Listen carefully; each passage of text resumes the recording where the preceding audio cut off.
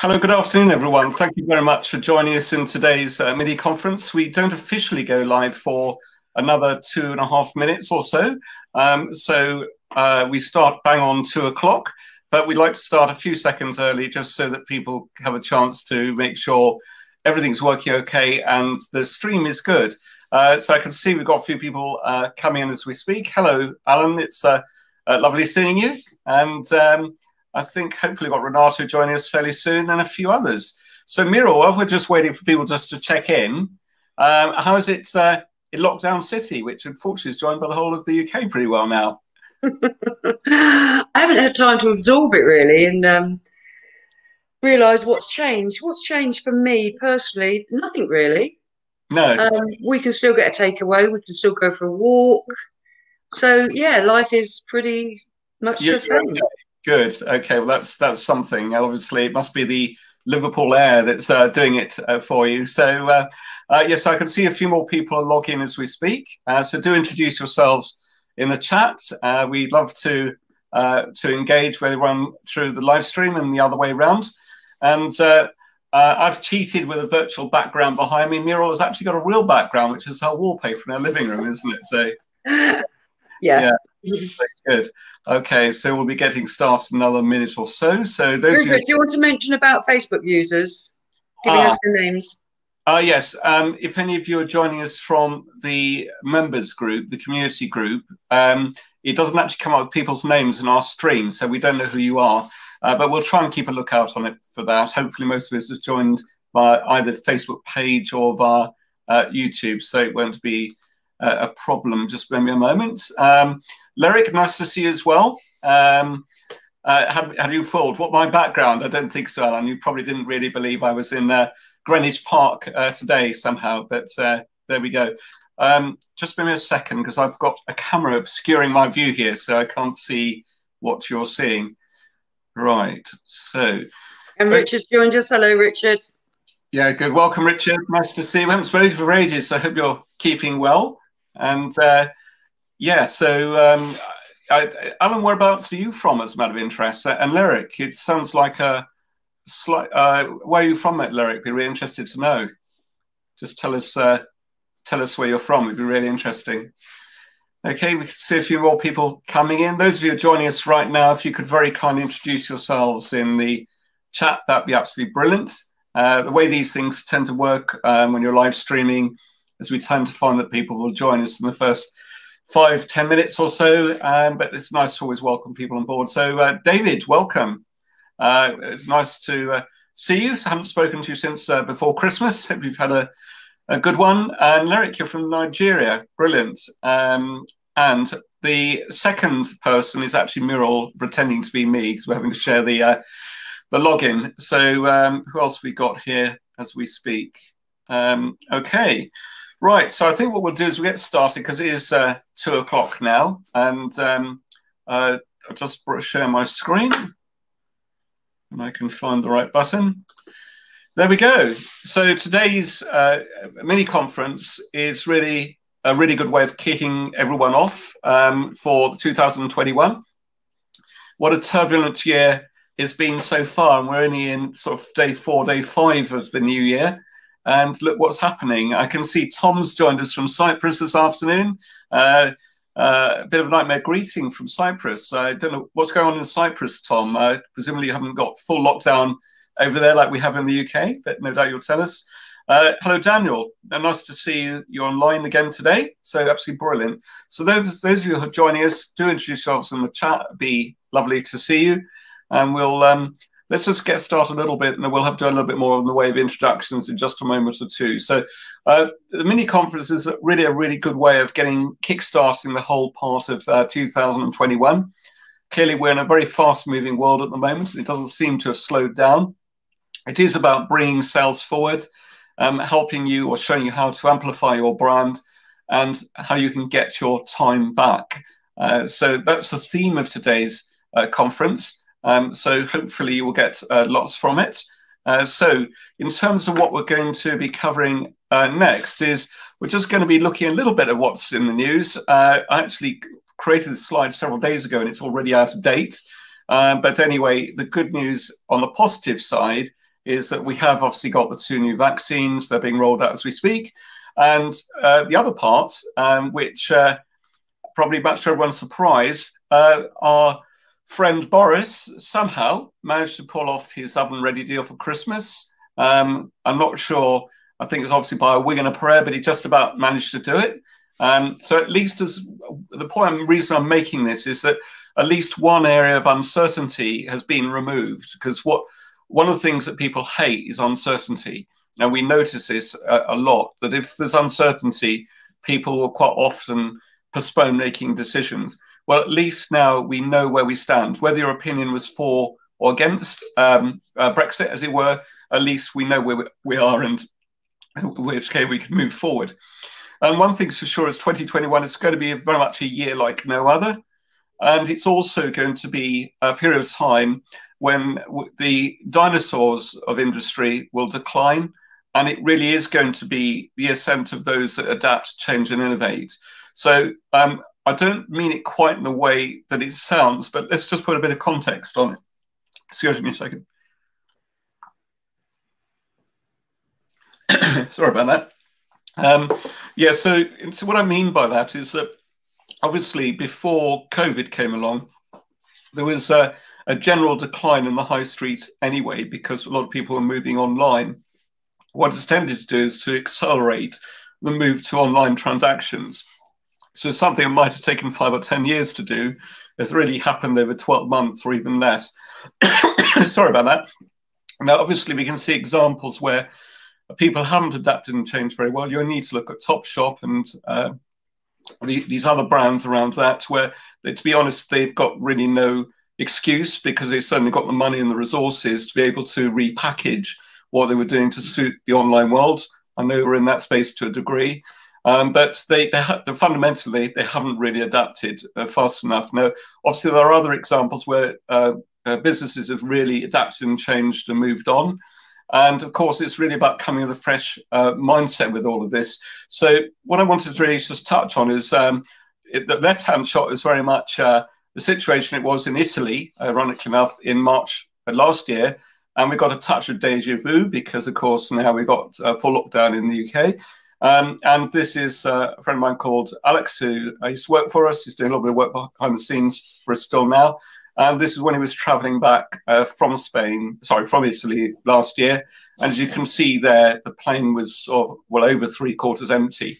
Um, obviously, the airline industry has had to do go through massive change, um, presumably helped a lot by government support, but invariably that won't be enough.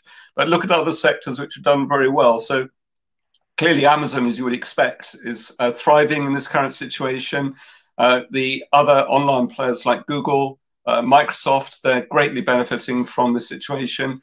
Um, uh, companies like Zoom as well, look how well they're doing uh, out of this. But there are a few surprises as well. So let's look at a few other examples. If uh, a business is selling garden houses, sorry, summer houses or, or very large garden sheds, a lot of people are actually deciding to actually create some extra space, perhaps away from the sort of family household where they just can't work uh, properly. And uh, apparently, sales in that particular space have gone through the roof because people want uh, somewhere else to be able to work from a home environment. Um, look at people selling bathtubs. Uh, if people are in the DIY space, um, you know, or landscaping, uh, or these type of things, th- those type of businesses are tending to very, very much benefit from the new world uh, order uh, that we're actually in. So it's just worth thinking about that. The reason I'm sowing those seeds is that um, really it is about adapting and change and responding to the market as we know it. And uh, as Seth Godin said, uh, this is not a recent quote. Uh, this was uh, written about three or four years ago. But fundamentally, for those who do adapt and change, it can be a real opportunity as well. And this is the real thought process behind here today. It is really about encouraging you to think out of the box and see what can come from here. So, what do we plan today? Now, um, in general terms, we will be talking about bringing your sales forward, how you can amplify your brand, and uh, basically do the job once and ben benefit by uh, leveraging that multiple times, as it were.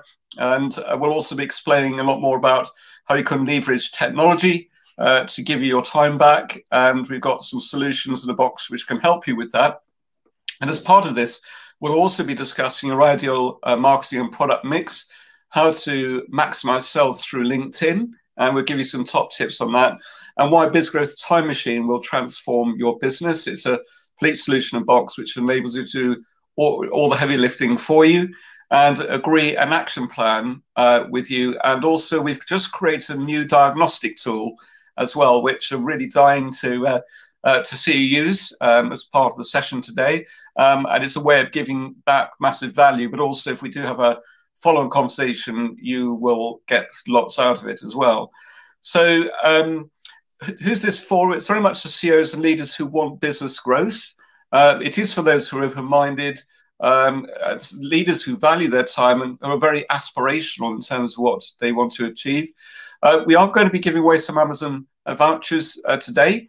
Um, so at the very end, when uh, you have a chance to complete the new sales and marketing diagnostic, um, there'll be some prizes from that. But I may we may have probably one or two others on the way throughout uh, this presentation. Now, I know we've got a number of clients as well on this call, so welcome to those of you who are already existing clients. Now, if you are existing clients, some of this you'll be familiar with because uh, we've been through it before, uh, but hopefully we'll get some insights um, and uh, we'll be able to go from there. Now, who this isn't for, it's not for those who uh, don't value their time or believe that Albert Einstein was wrong. Okay, I think we all fall into this trap sometimes, uh, me included, that it's very easy to um, it's very easy to get stuck almost on the treadmill and uh, we can almost be so uh, overwhelmed with what's actually sort of going on. We don't think clearly, and of course that impacts the success uh, of our, our business. Um, so what I would ask you to do as well is please do introduce yourself in the chat and what you are really passionate about. Um, if you could avoid putting web links or promotional links there, because this is about sharing uh, genuine value. We want to create a real sense of community uh, through these sessions. Um, indicate what you'd like out of today. Be bold with your questions um, because we love those. Um, and we've got a couple of uh, uh, people joining us on the live stream today. We've got a gentleman called Paul who's joining us. Uh, he's got quite an interesting story to tell. Another one called Raymond's a bit later on uh, too. So uh, Paul and Raymond, by the way, if you on this live stream already, if you could introduce yourselves in the chat just so we know you're there, that'd be really appreciated. Um, uh, so do do, re, do, do engage. Do, not sit in the background because that way everyone benefits by knowing you're there, and there's a way that uh, we can get the conversation uh, really going. Um, as a bonus session, uh, well, we'll give you a reminder of this a bit later on, actually, so you don't need to write this down. But on Thursday, we've got our uh, every every Thursday as a way of giving back to our community. Uh, in March last year, we made the decision when COVID first came along. It was a it was really important that we thought about our clients and how we could help and support them, and also people who aren't clients yet. So it's a genuine way of giving back. So we started these weekly live streams in association with uh, Chris Cooper, um, who's a personal friend of mine, and um, and I get interested enough met him through LinkedIn to start with, um, and. Uh, what's happened that's proved really successful so we're now been continuing this every week since i think we're on episode 39 this week um, and Ian Randall is going to be talking about uh, if you're suffering with overwhelm, make 2021 the year for your growth. Um, and also, uh, there'll be uh, some insight discovery sessions you want to explore. And next week, we've got a double session. We've got uh, a networking collaboration session followed by live stream. And we've also got another very special guest for you. So I'll give you more details on that uh, near the end of the day. Um, we will have a natural break. Um, if to expect you to sit uh, for three and a half hours and not have a break is unrealistic, um, we would ask you uh, to close down any other tabs you've got on your computer, including any email tabs, because this can interfere uh, with the what you're watching and what you're joining in on. Um, and uh, if there's we do if we have a situation where multiple winners for perhaps uh, main prize at the end, then we may have to go to a tiebreaker one, which may be drawn today, but it may be drawn on Thursday. So just bear that in mind. Um, so, and uh, just to re-emphasize what today is about, it's about helping you to bring your sales forward. A lot of that be through LinkedIn, um, how to amplify your brand and get your time back. So, um, on the bring your sales forward part of it, um, some of you who are, uh, who are clients on the call today will be familiar with this. Uh, but what we talk about is using the uh, social selling blueprint, which is what we class as uh, lead generation, prospect nurturing, and sales optimization. And if any three of those cogs are not turning, uh, then of course it stops the whole process working. Um, now, clearly, um, if you've got nothing coming at the top, then there's no way, there's no conversations to nurture, or no prospects to nurture, and of course that stops the sales process. If you are really poor on following through, um, then invariably it doesn't matter if you've got top, cogs one and two turning as fast as they can, but you, are never going to solve your problem. So what we're very keen to do is to work with clients to help them to get get all three of those turning. And in terms of the prospect nurturing process, we'll go into a bit more detail a bit later on, but especially in the LinkedIn segment. Um, it's really important you adopt a, a, a five message uh, process. Um, it, and it's not about overtly selling, um, it's about building on the engagement side, but a very targeted, very personal way. So if you can do that, and create a predictable, you can create a repeatable, predictable system which will give you sales consistently month in, month out. Um, so I'm just going to move this out of the way a bit because I can't see what's actually going on on my screen. Um, yes, yeah, so so just uh, just give that some thought because that's what you really need to have in place. If you haven't got it already. The amplify your brand part. Now to give you a bit more meat on the bone on that. Um, what we'd urge you to do is to think much more strategically over your uh, the way that you actually put material out there. So with this, it's about think about how you can create a piece of content just once. Now, it could be a video live stream, a bit like we're doing today. Um, it could be you've recorded a really good interview, or you've been uh, done some form of public talk, and it's a very good piece which really demonstrates your competence and expertise. Um, but if you've got some really good content to start with, how can you take that and repurpose that? So, in addition to it being live streamed over the social channels, how can you then edit that down so you end up with something a bit more condensed and then rebroadcast uh, that content perhaps a couple of weeks later?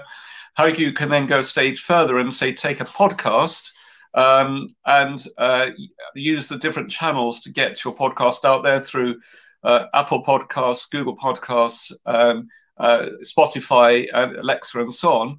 And then what can you do with social media to leverage that exposure, um, whether it's by that one piece of content or by breaking into multiple parts? Um, also, how you can look at running online events as part of your overall attraction strategy. What you can put in place around webinars and automated webinars. Uh, web, automated webinars if it's done authentically, uh, can be a really good way of leveraging your time. Uh, and you'll notice I did use the word authentically there. One of the things that uh, we describe it as as an on-demand webinar or just-in-time webinar. Uh, so because the automated, a lot of people try and pretend an automated webinar is real, okay, uh, but actually quite often it's not. I think it's about being authentic, but you can create uh, like a live experience with the whole thing. Um, and then it's about taking that content again and saying, okay, well, let's get that transcribed. Um, and that's then created those posts and articles which you can put out there.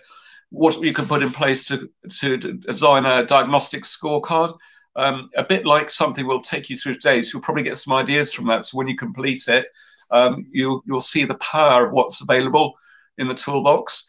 And uh, if you're in the coaching mentoring space or you're in the, um, a space where it's valuable sharing other content, what how you, can you take what you've produced uh, to create perhaps more of a membership portal or an e-learning portal on the top of that? And that's this is what we class as of really amplifying your brand. And the good thing is with a lot of this, yes, you may need to pay for some third-party services, but to still get good results, you don't necessarily need to spend money on pay per click with Facebook, YouTube, and the rest. Because That can be very expensive. Obviously, if you can do that, that's always a good thing to do. But we're very much a great advocate. If, if you can, we can show you how and give you the tools. It's much better you put yourself in control with that, so you don't have to spend the money on it uh, and everything else around that. And then give back your time. Get back your time is uh, by leveraging our systems technology. We'll talk about this a bit more later on. But in particular, we've got literally a solution in the box, uh, which is our BizGrowth Time Machine. And basically, it is a way of running campaigns almost. I don't like the word autopilot because it suggests there's the lack of human interaction. Um, but the bottom line is you can take a job which takes three to five hours a day if you're doing it manually. Um, I promise you, I'm not exaggerating there. Uh, you can reduce that to about 15 to 30 minutes, depending uh, how organized you actually are. So um, then, as in terms of uh, uh, we want you to be involved, uh, so do get involved in the chat. And uh, what we'll just do for a moment is we'll just have a, a, quick break. So we'd like to have a look at some of the feedback and the comments. Uh, so Muriel, are there, are a few comments or feedback you'd like to share? Is anything anyone sort of raised anything particularly which is a good point to flag up? Uh, no, um, Lyric, I think, was a, a, little bit confused. He thought we deal with um, music artists and, and record labels. Um, so I've explained about that. No, everyone's been very quiet and just wishing everybody else a very happy new year, which of course we do to everybody. And um, let's hope it is a happy new year. Yeah, yeah. Well, we'll make it, make sure it is. Uh, we're amongst a positive, uh, energetic group of people here today, so uh, let's make it lots of fun. Um, so I can see a few names which I recognise. Uh, Paul, welcome. Um, okay, he's absolutely delighted being able to join us today. Um, and uh, we'll we think we've got a special link for you a bit later on, Paul. So we'll come to that. Uh, who else we got? Tom, welcome. Um, what I'm not sure on is actually is what you were talking about earlier on in terms of um, uh, down in um, where you are, where there's some particular issues where you are, but no doubt you will let us know. And Raymond, delighted you're with us as well today. Um, you very kindly been volunteered to take part uh, a bit later on, so um, we'll share a link with you a bit later on. And uh, Alan, uh, great that you're listening hard, so uh, appreciated. So in which case, I think what we'll do is we'll keep this moving. We will have a natural break, as I say, around about three, three fifteen for about uh, about ten or fifteen minutes, and uh, that just gives you everyone a chance to get a cup of coffee and whatever, and we'll come back again. But that's a little way off just yet. So moving on from there, a little bit of an introduction from me and from Muriel.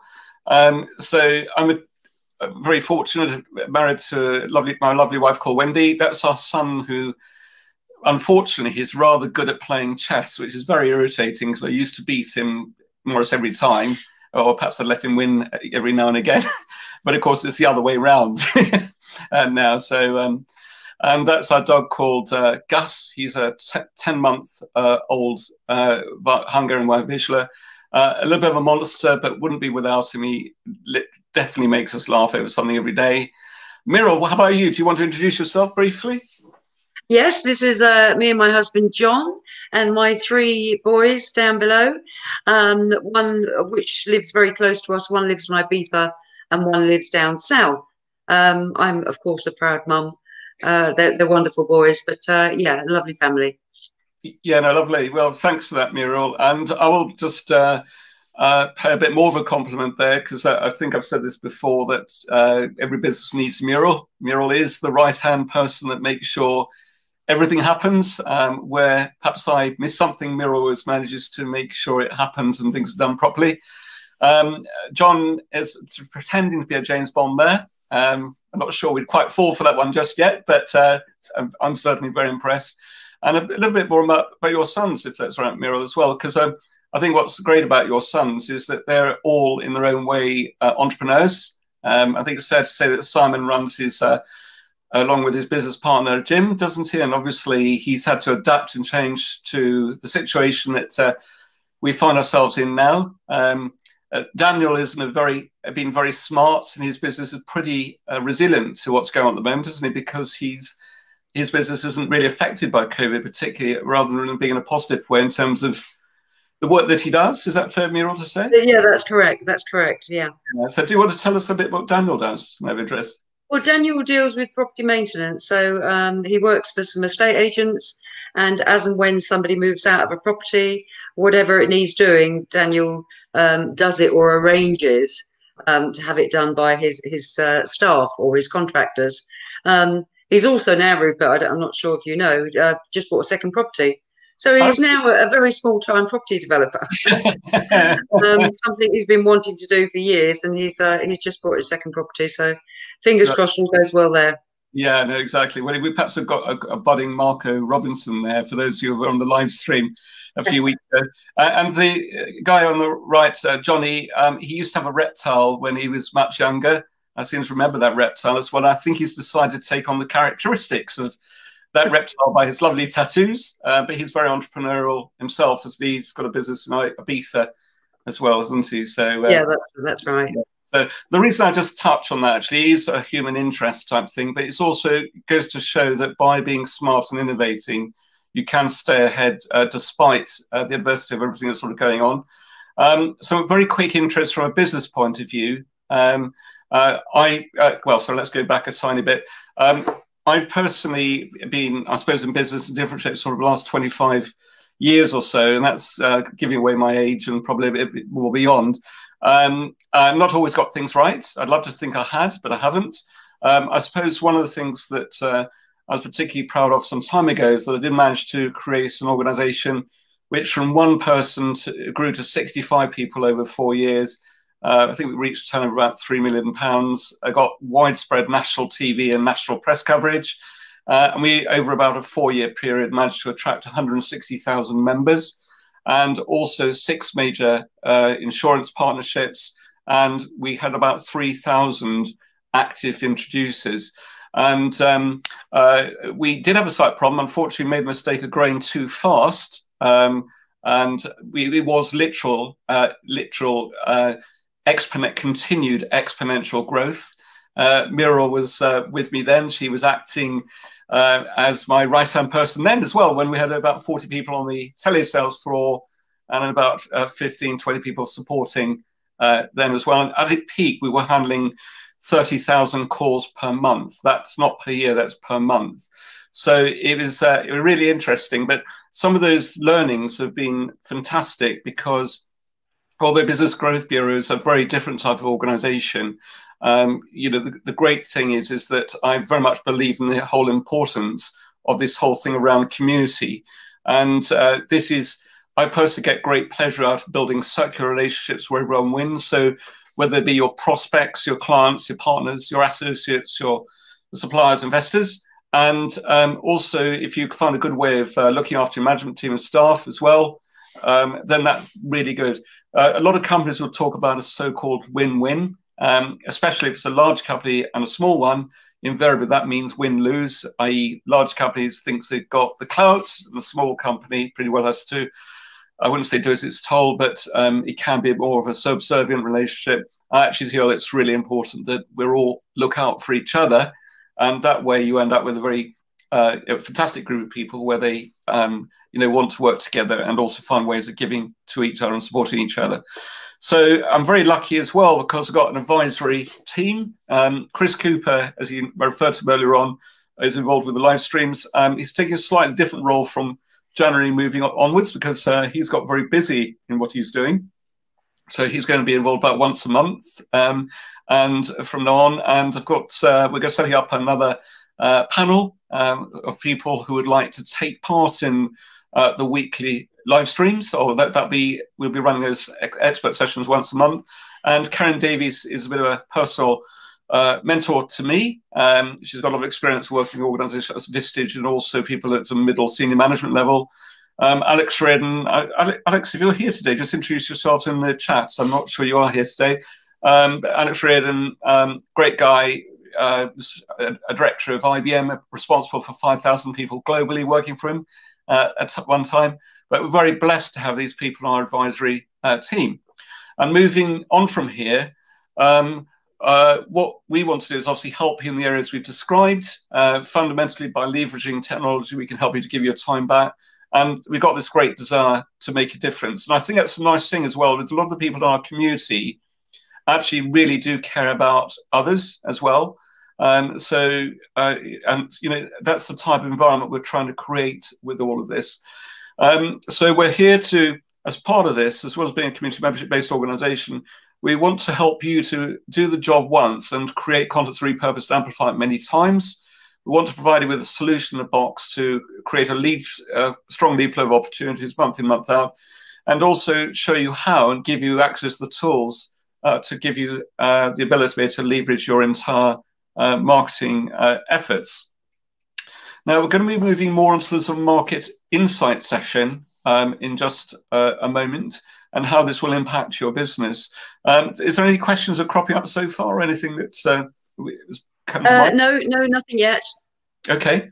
All right. So uh, let's move on in that case then. So um, just some market insights. Now, those of you who are clients of ours or been on this before, you may be familiar with this.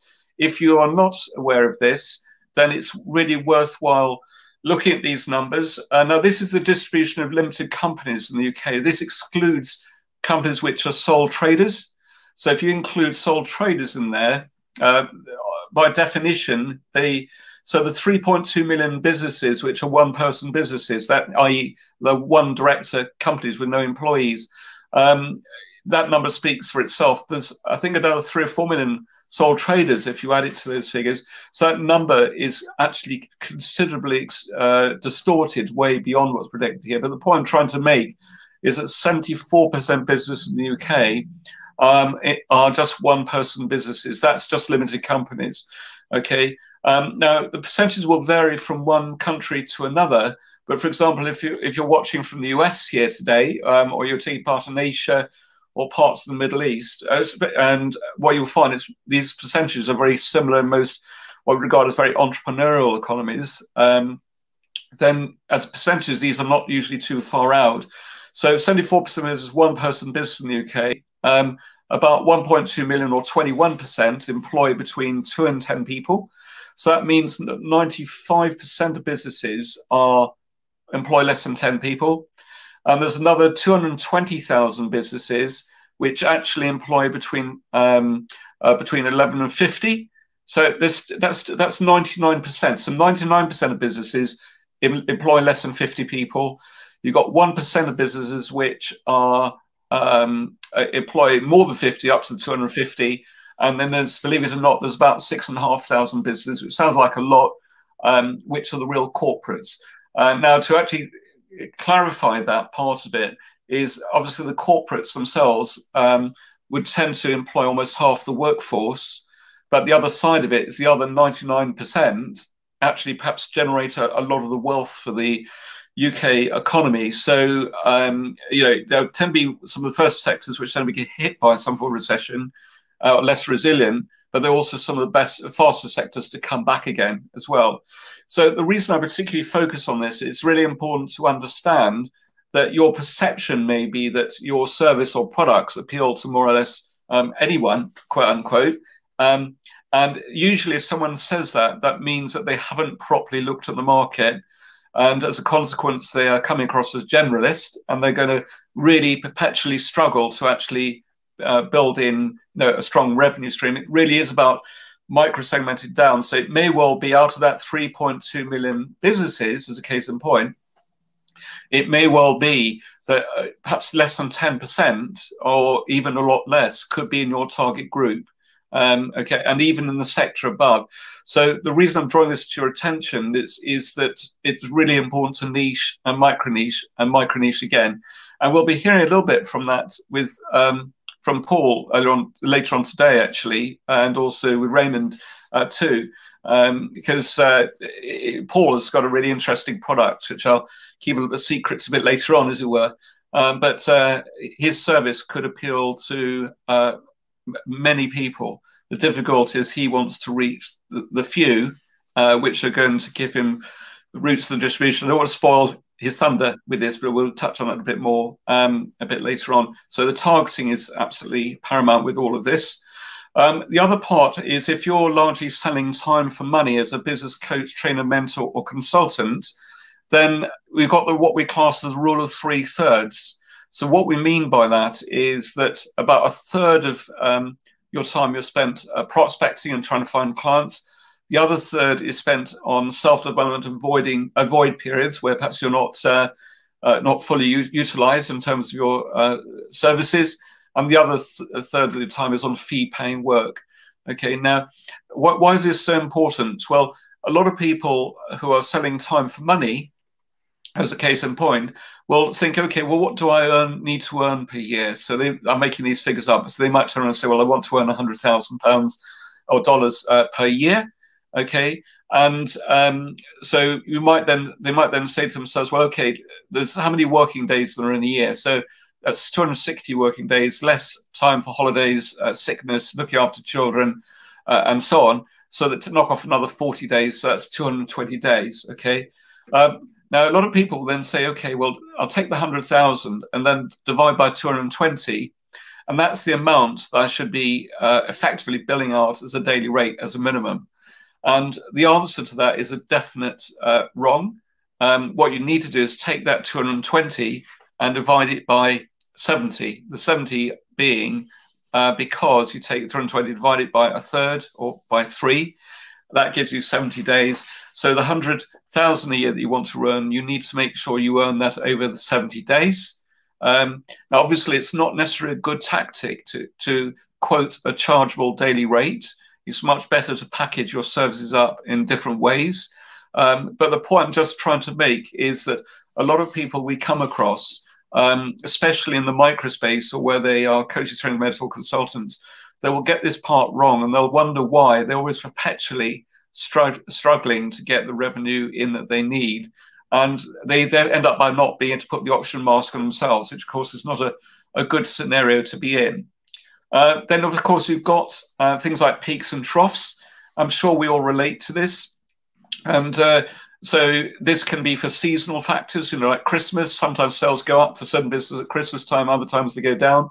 Holiday periods, um, it could be as well because um, you get a recession now, we were due for a recession around about now anyway, um, if, forgetting about COVID, because every 10 to 11 years, you'd end up cyclically having a recession, where the last big one was probably 2009, 2010.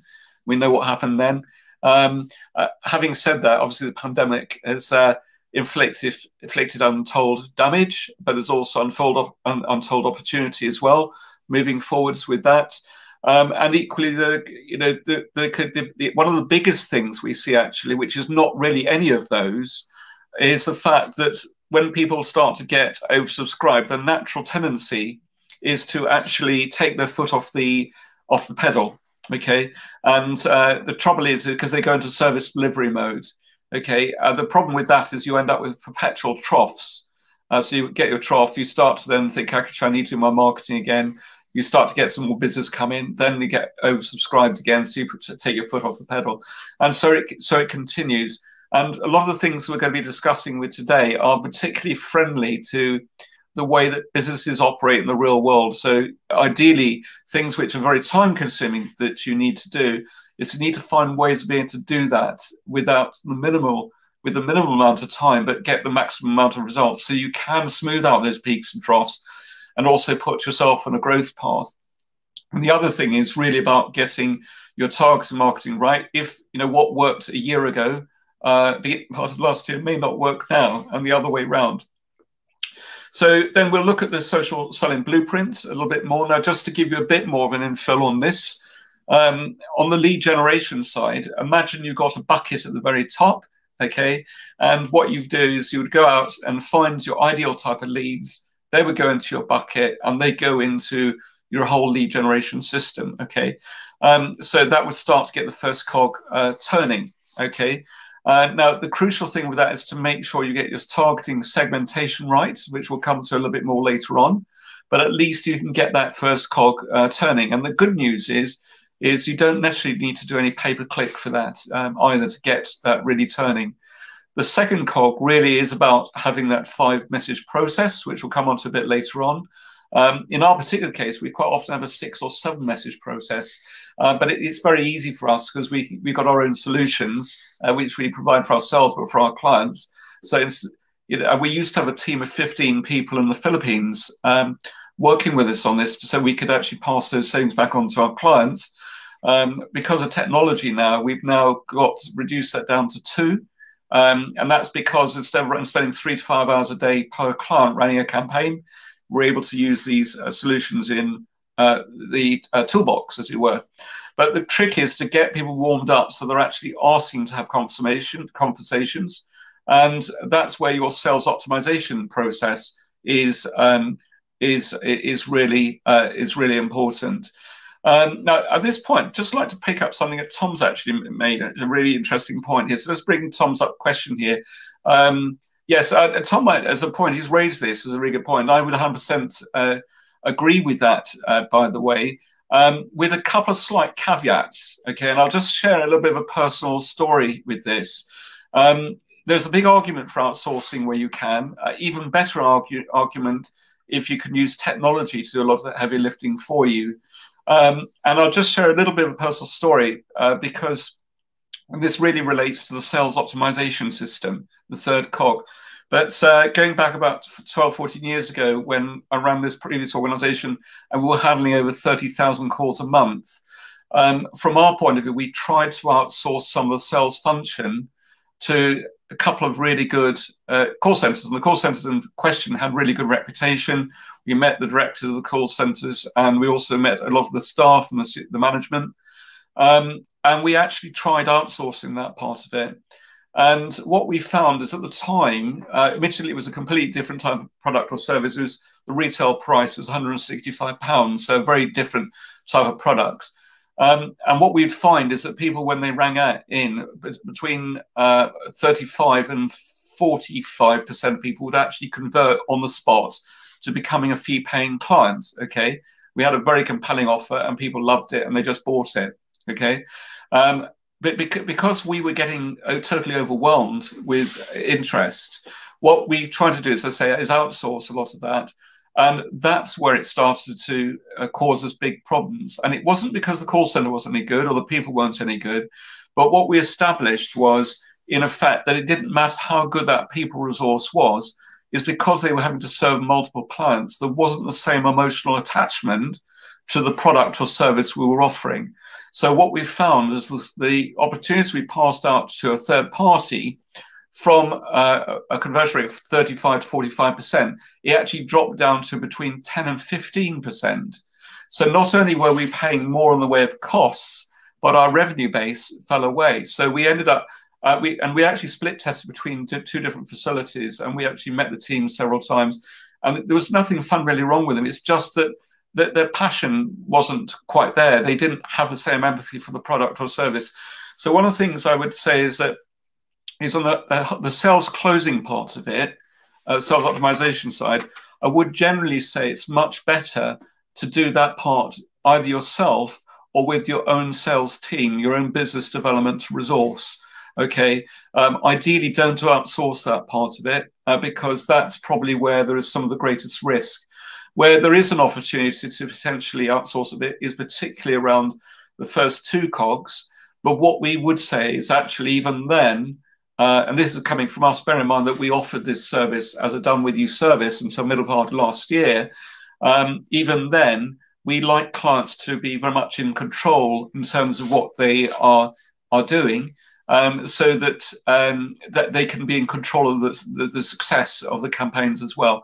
We'll come on to that a bit later on. So um, yeah, so it's, it's, interesting. So Tom Eccles, I'll just display this one as well, if that's all right, Tom. Uh, so it's interesting. We've got two Toms on this call. So we bought temporary sales team as we believe that we can't sell everything. If don't blame me a second. Yeah, um, yeah, that's that. 100% agree with that, Tom, and thank you very much for sharing that. Uh, what would be nice to know, Tom, uh, is what industry sector you're from as well, actually. Um, so, but that's great feedback. So, thank you for doing that. And um, uh, Tom Brown saying, uh, "Yeah, uh, that's perfect." And uh, and again, Tom Brown, I'd agree with that. Um, the other thing where it can work very well, actually, is the outsourcing part is if you look at the prospect nurturing process and the sales optimization uh, piece um, it, what you can outsource quite often is to like a really good virtual pa okay? Um, because the initial part of the call you don't people when they speak to a virtual pa or a pa they don't necessarily expect the pa to be able to answer every question for them. But what they know is that if they spoke to speak to the pa that that person will deal with that call competently and professionally and uh, what you can do, if you do things the right way, you can use that resource to help you qualify that lead or opportunity. So then you're only getting involved, or your senior BDMs, or whatever it may be, are only getting involved when that person's been a little bit more uh, qualified. Um, and uh, so Renata's joining us as well, so thank you. Uh, yeah, interesting, Renata. You'll have to share a little bit more on that one, and not uh, I'm sure you'll have some more background on that. So it's good to happy New Year, Renato. By the way, so nice to see you on the call. Um, now, this is talking a little bit more about from a business development manager's perspective, uh, or rather, from company's perspective, looking at business development managers. On the left-hand side, if you don't have a very well optimized uh, process, what you tend to find is your business development resource will be actually working um, on cold leads. So by the time you spend 40% of your time prospecting um, and uh, perhaps uh, 25%, so 65% of your time is then spent working on cold leads. A lot of people don't appreciate, or direct leaders of companies don't appreciate that that has a massive negative impact on the business because most business development managers will actually burn out very quickly. That, that type of resource may take six months to train up. They typically tend to be quite an expensive resource. And what happens is you get very high churn then because they don't stay with you. And that in itself is a very big hidden cost because of recruitment costs and fresh training costs again. So, what we would argue is it's much better that you follow the principles on the right. So, what you then do is you um, uh, get uh, people, prospects warmed up to the point where we're actually asking to have those conversations. So, the business development managers or the sales director, or if it's yourself, are spending the time on the hot prospects. And therefore, not only are you going over your own sales targets, but the um, your business development managers are as well. They earn more commission out of the business, makes more money. Your cost base is actually lower. So guess what? Your profitability um, actually really goes up. So just just worth bearing in mind. And then if we were to look at some other parts around this as well, this is to do with uh, LinkedIn uh, profiles. Uh, we done uh, research over well over 2,000 LinkedIn profiles, and we estimate that only 25% of profiles are actually either properly optimized or semi-optimized. And um, the point I just make, it isn't necessarily your fault, by the way, um, because typically most people do LinkedIn the way that uh, their LinkedIn profile or create their LinkedIn profile uh, along the ways that uh, they believe that LinkedIn would want to see it. And in effect, what they do is they create their profile to look like a, a glorified CV. Now, if you're job hunting or in the job market, then do precisely that. But I assume that because you're on this call today, you're much more interested in it from a uh, business point of view and in terms of finding new clients. And it's a completely different approach. Okay, so I will be going a little bit more into a bit more detail about the um, profile optimization side a bit later on. And just to bring things into context as well, now we've got an email list of uh, 62,000 businesses we, um, uh, which we've continually engaged. We're actually in the process of narrowing that down a little bit now, um, just to make sure that we're engaged with people who want to be engaged with and so on. But it's still a very big list.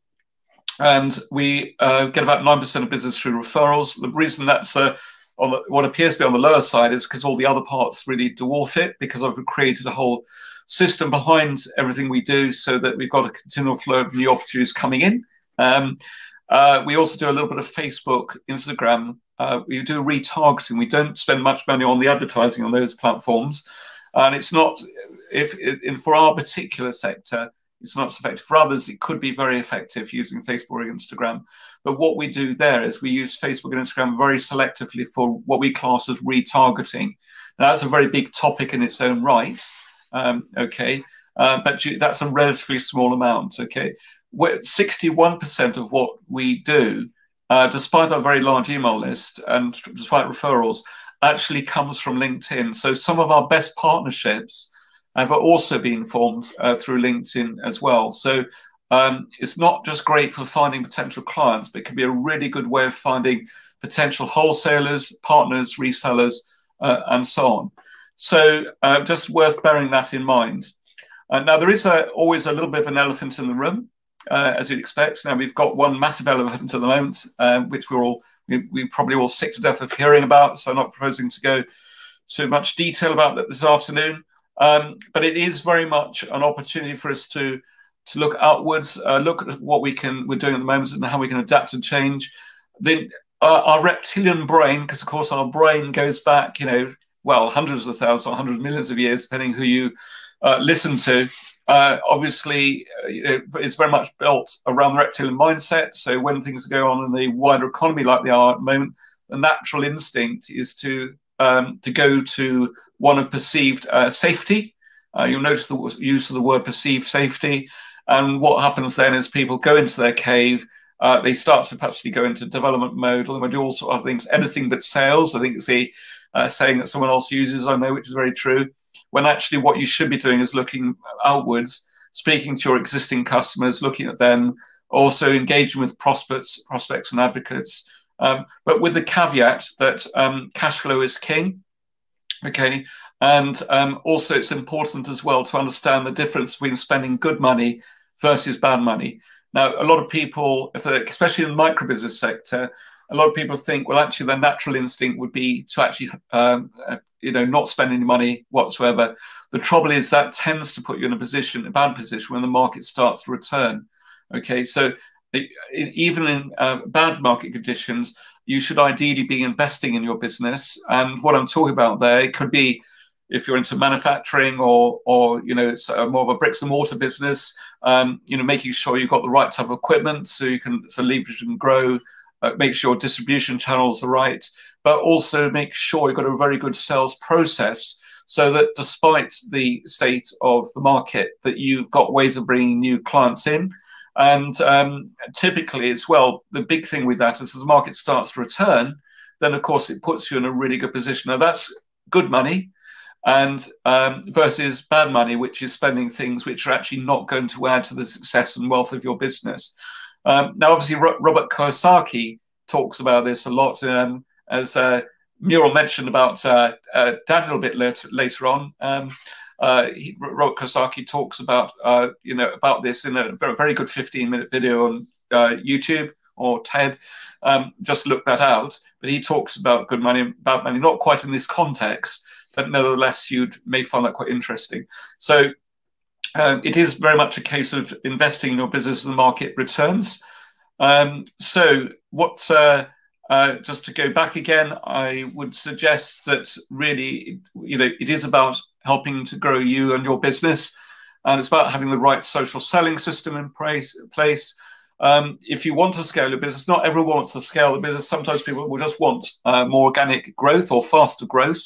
Uh, there are others who want to scale their businesses. Um, the strategy you adopt from a marketing point of view may be quite different. Um, uh, but uh, we can obviously discuss that with you if that's relevant. And of course, everything has to center around your customer and your products and markets uh, and every part around that. Now, I think before we move on, this could be a really good point, actually. Um, Muriel, could you share the link with Paul? Uh, Paul, if you could very kindly uh, join us in the green room. Okay. Uh, what we'll do is we'll see your details come through in just a moment, and I'll bring you up on air. So we'll probably have a break at about three fifteen, so in about 20, 25 minutes time. Um, and what we'll just we'll carry on for a few minutes just to give Paul a chance to come in and uh, let's try and bring you on air. And, and, Paul, when you come on air, just make sure you you mute your Facebook or YouTube uh, video stream. Otherwise, we'll get very bad echo. So I look forward to seeing you in just a moment. So Paul, just make sure you're also um, uh, uh, given you the link, and we'll go from there. Yeah, I emailed it to him earlier, so he's got the link. Okay, lovely. All right, thank you. So what we're going to talk about now is about the importance of building uh, tribes and supporters uh, to help you to achieve uh, growth and be part of an active community. And uh, why is a good having a being a good tribe leader so important? Okay, so I think it's got some you know examples of this of people who've just been on our live streams recently. So uh, well, uh, Neil Laughton, this is him with uh, Chris Cooper on our Thursday live streams a few months ago. Uh, one of the things that Neil Laughton is known for is ex Special Forces, but he's also been up Everest six times. Uh, the top left hand picture there is a picture of him with uh, Bear Grylls.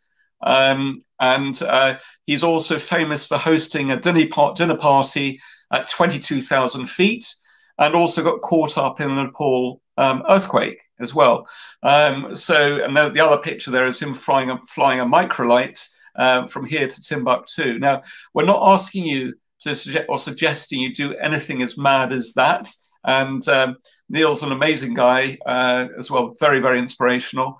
Um, but uh, you know, us as ordinary people can do amazing things. So let's look at a few other examples uh, of those people done amazing things. Obviously, we know what Marcus Rashford has done uh, already. Um, and of course, uh, Sir Tom. Um, but look at the size of Sir Tom 1.5 million people. Uh, Patrick Hutchinson, you know, before the, this whole thing around Black Lives Matter, uh, you know, didn't really have any form of presence. But this iconic picture where he helped to save um, someone uh, from what was sort of really going on. Um, you know, what really struck me a chord, struck a chord with me then is what he described. I remember the interview at the time. He described the reason he did this is that we're, we're we, his his love for fellow man, and also he described it as we're all one people, all one race. So these are examples of just ordinary people uh, doing amazing things. So don't feel just as one person you can't have a massive impact. We can all have an impact. Okay, and the way you can leverage this whole thing around um, a, a tribe um, is is basically by uh, once you start to the way of building up your tribe is by using things like social media, content creation, video conferences, webinars, video and podcast uh, podcast creation, email, uh, online marketing, and so on. The trouble is, a lot of this in itself can be very time consuming. A lot of people make the mistake of perhaps just becoming almost creating this as almost one continual process or machine. But the impact can be, if you do th- don't do things the right way, can be minimal. Whereas if you do it the other way, you can really leverage uh, what you're actually doing. But it's much easier if you can position yourselves as uh, being a tribe leader, as it were. Um, and the other thing uh, which really struck a chord is, and I know several other people have found this really helpful when I've shared this, is um, is remember if something is free, then that you are the asset and the commodity. So, for example, let's look at um, uh, Facebook as a case in point. Uh, do Facebook charge you for accessing their platform? No, these fantastic platforms, which Facebook or Instagram and the others, um, are here, no cost to us and yet we have the uh, the benefit of their platforms. The other side, the, the trade-off is that, of course, um, for all that data and the very careful retargeting that you can do through things like Facebook, you, you, us as individuals are the asset and the commodity. Okay, and that's really important to understand. And the other thing around that is really important you understand as well that you either invest your time or you invest money or both. Um, if you invest your money, then of course you don't have to spend so much time trying to find customers, but you obviously you're having to pay out of your hard-earned cash, which is coming straight off your bottom line. Uh, on the other hand, you are getting back some of your time. And the big thing as well is a lot of people try and do a lot of these things themselves, and they. I don't mean it in a bad way, this, but they become in effect busy fools. You know, we, we end up by just doing a lot of things because it it, perhaps it helps us to justify uh, what we're doing or our existence. When in reality, we what we need to be doing is finding a really good way of engaging with people, and then doing it, be able to do it in such a way um, uh, that uh, uh that you can get your time back, if that makes sense. Um, so, Muriel, is Paul having trouble getting on? Right. Um, so, if Paul's having difficulty, by the way, Paul, just make sure on your tab that you mute the uh, speaker in your video stream for either Facebook Live or or YouTube. Um, yeah, uh, Paul was with us a minute ago, but he was having trouble muting himself on Facebook. He's coming here. He's back with us now. Perfect, lovely. Okay, so Paul we'll be with you in just a second. Thank you very much. You can see you in the green room now, so we don't need to. We can we can all chill out and relax, know that knowing you're there. So remember, uh, it really is about leveraging your marketing and sales effort and doing things in such a way that you you can get your time uh, back. And um, what I'm going to do is I'm going to cover another point, a few points in a moment. I think it's be a really nice time to uh, bring Paul in, uh, if that's all right. So here we go. So Paul, welcome. Hello, Paul. Can you hear us? Okay. I think he's just unmuting himself as we speak. No pressure, Paul. so, Paul, I take it you can hear us, can you? I'm not sure he can. No, I don't. no, okay. Muriel, if you could, if necessary, just try and call Mo, Paul on his mobile and try and help him if that's all right. Okay. Uh, all right. Uh, so we'll come back to Paul. Paul, can you hear us now? Well, I don't know if you can hear me. Um, we can. Ruby, can you put your hand up if you can? We can. we can hear you. Can you hear us? No. Um, Muriel, I'll let you speak to Paul and we'll come back to Paul in just a moment. Cheers. Right. Okay. So what we'll do, we'll carry on for a few moments. We'll try and bring Paul in again in uh, just a moment. Uh, things you always try and plan things in uh, Blue, Blue Peter fashion, but it's never always meant to be. But there we go. Uh, so uh, let's uh, here we go. So let's come back to this here. So it's really about uh, being able to leverage your time. And um, what we'll do now is we're going to focus a little bit more on what we class as the amplify your brand part of this. Okay. Now, um, I would recommend if you can write these down, it's going to be quite difficult for you because I am going to go quite fast on this.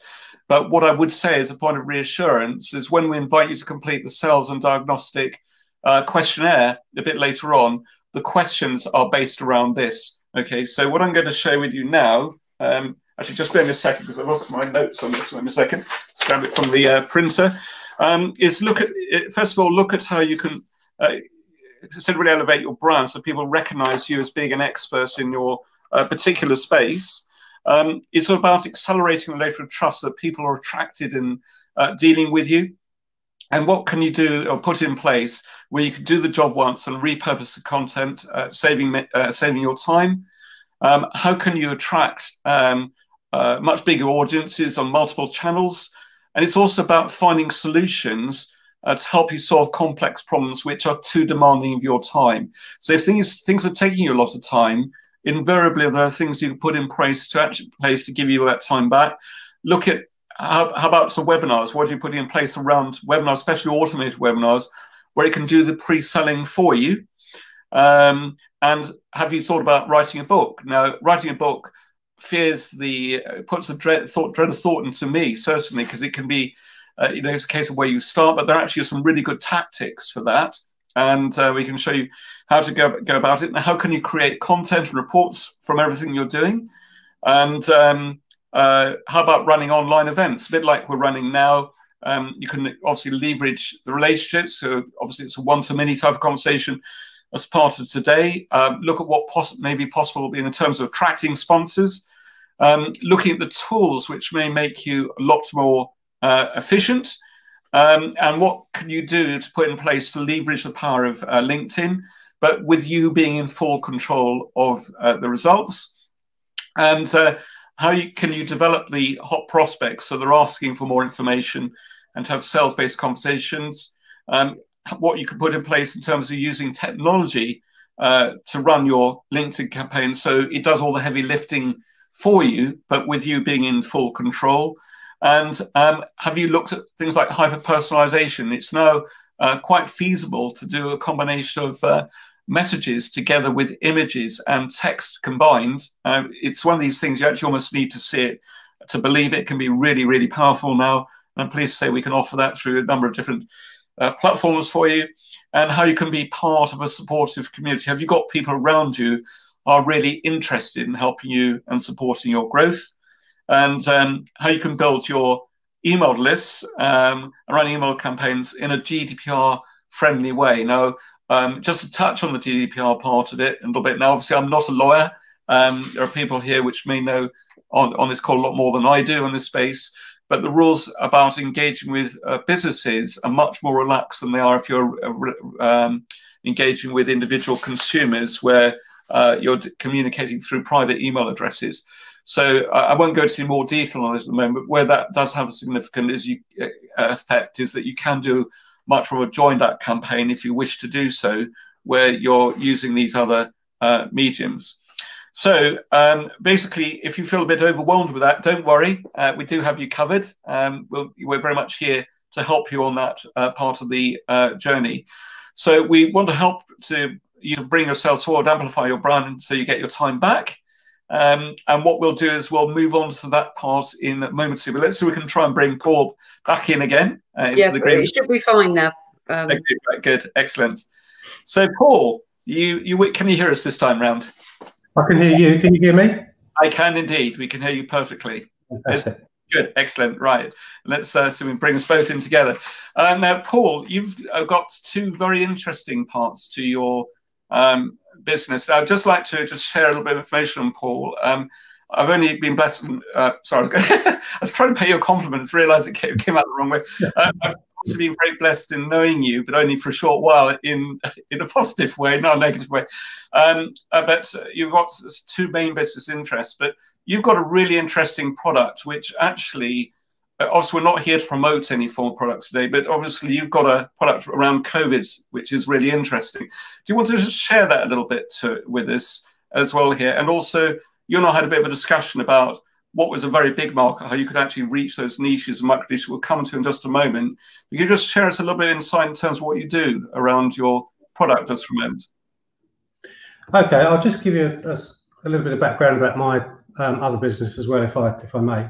So um, I'm co-founder of a, a, company called Advent Insurance Management, and we provide uh, claims services to the insurance industry. It's quite common for insurers to outsource their claims handler, uh, claims handling, so we we do that. Um, but also we provide um, technology solutions. Um, sorry about that.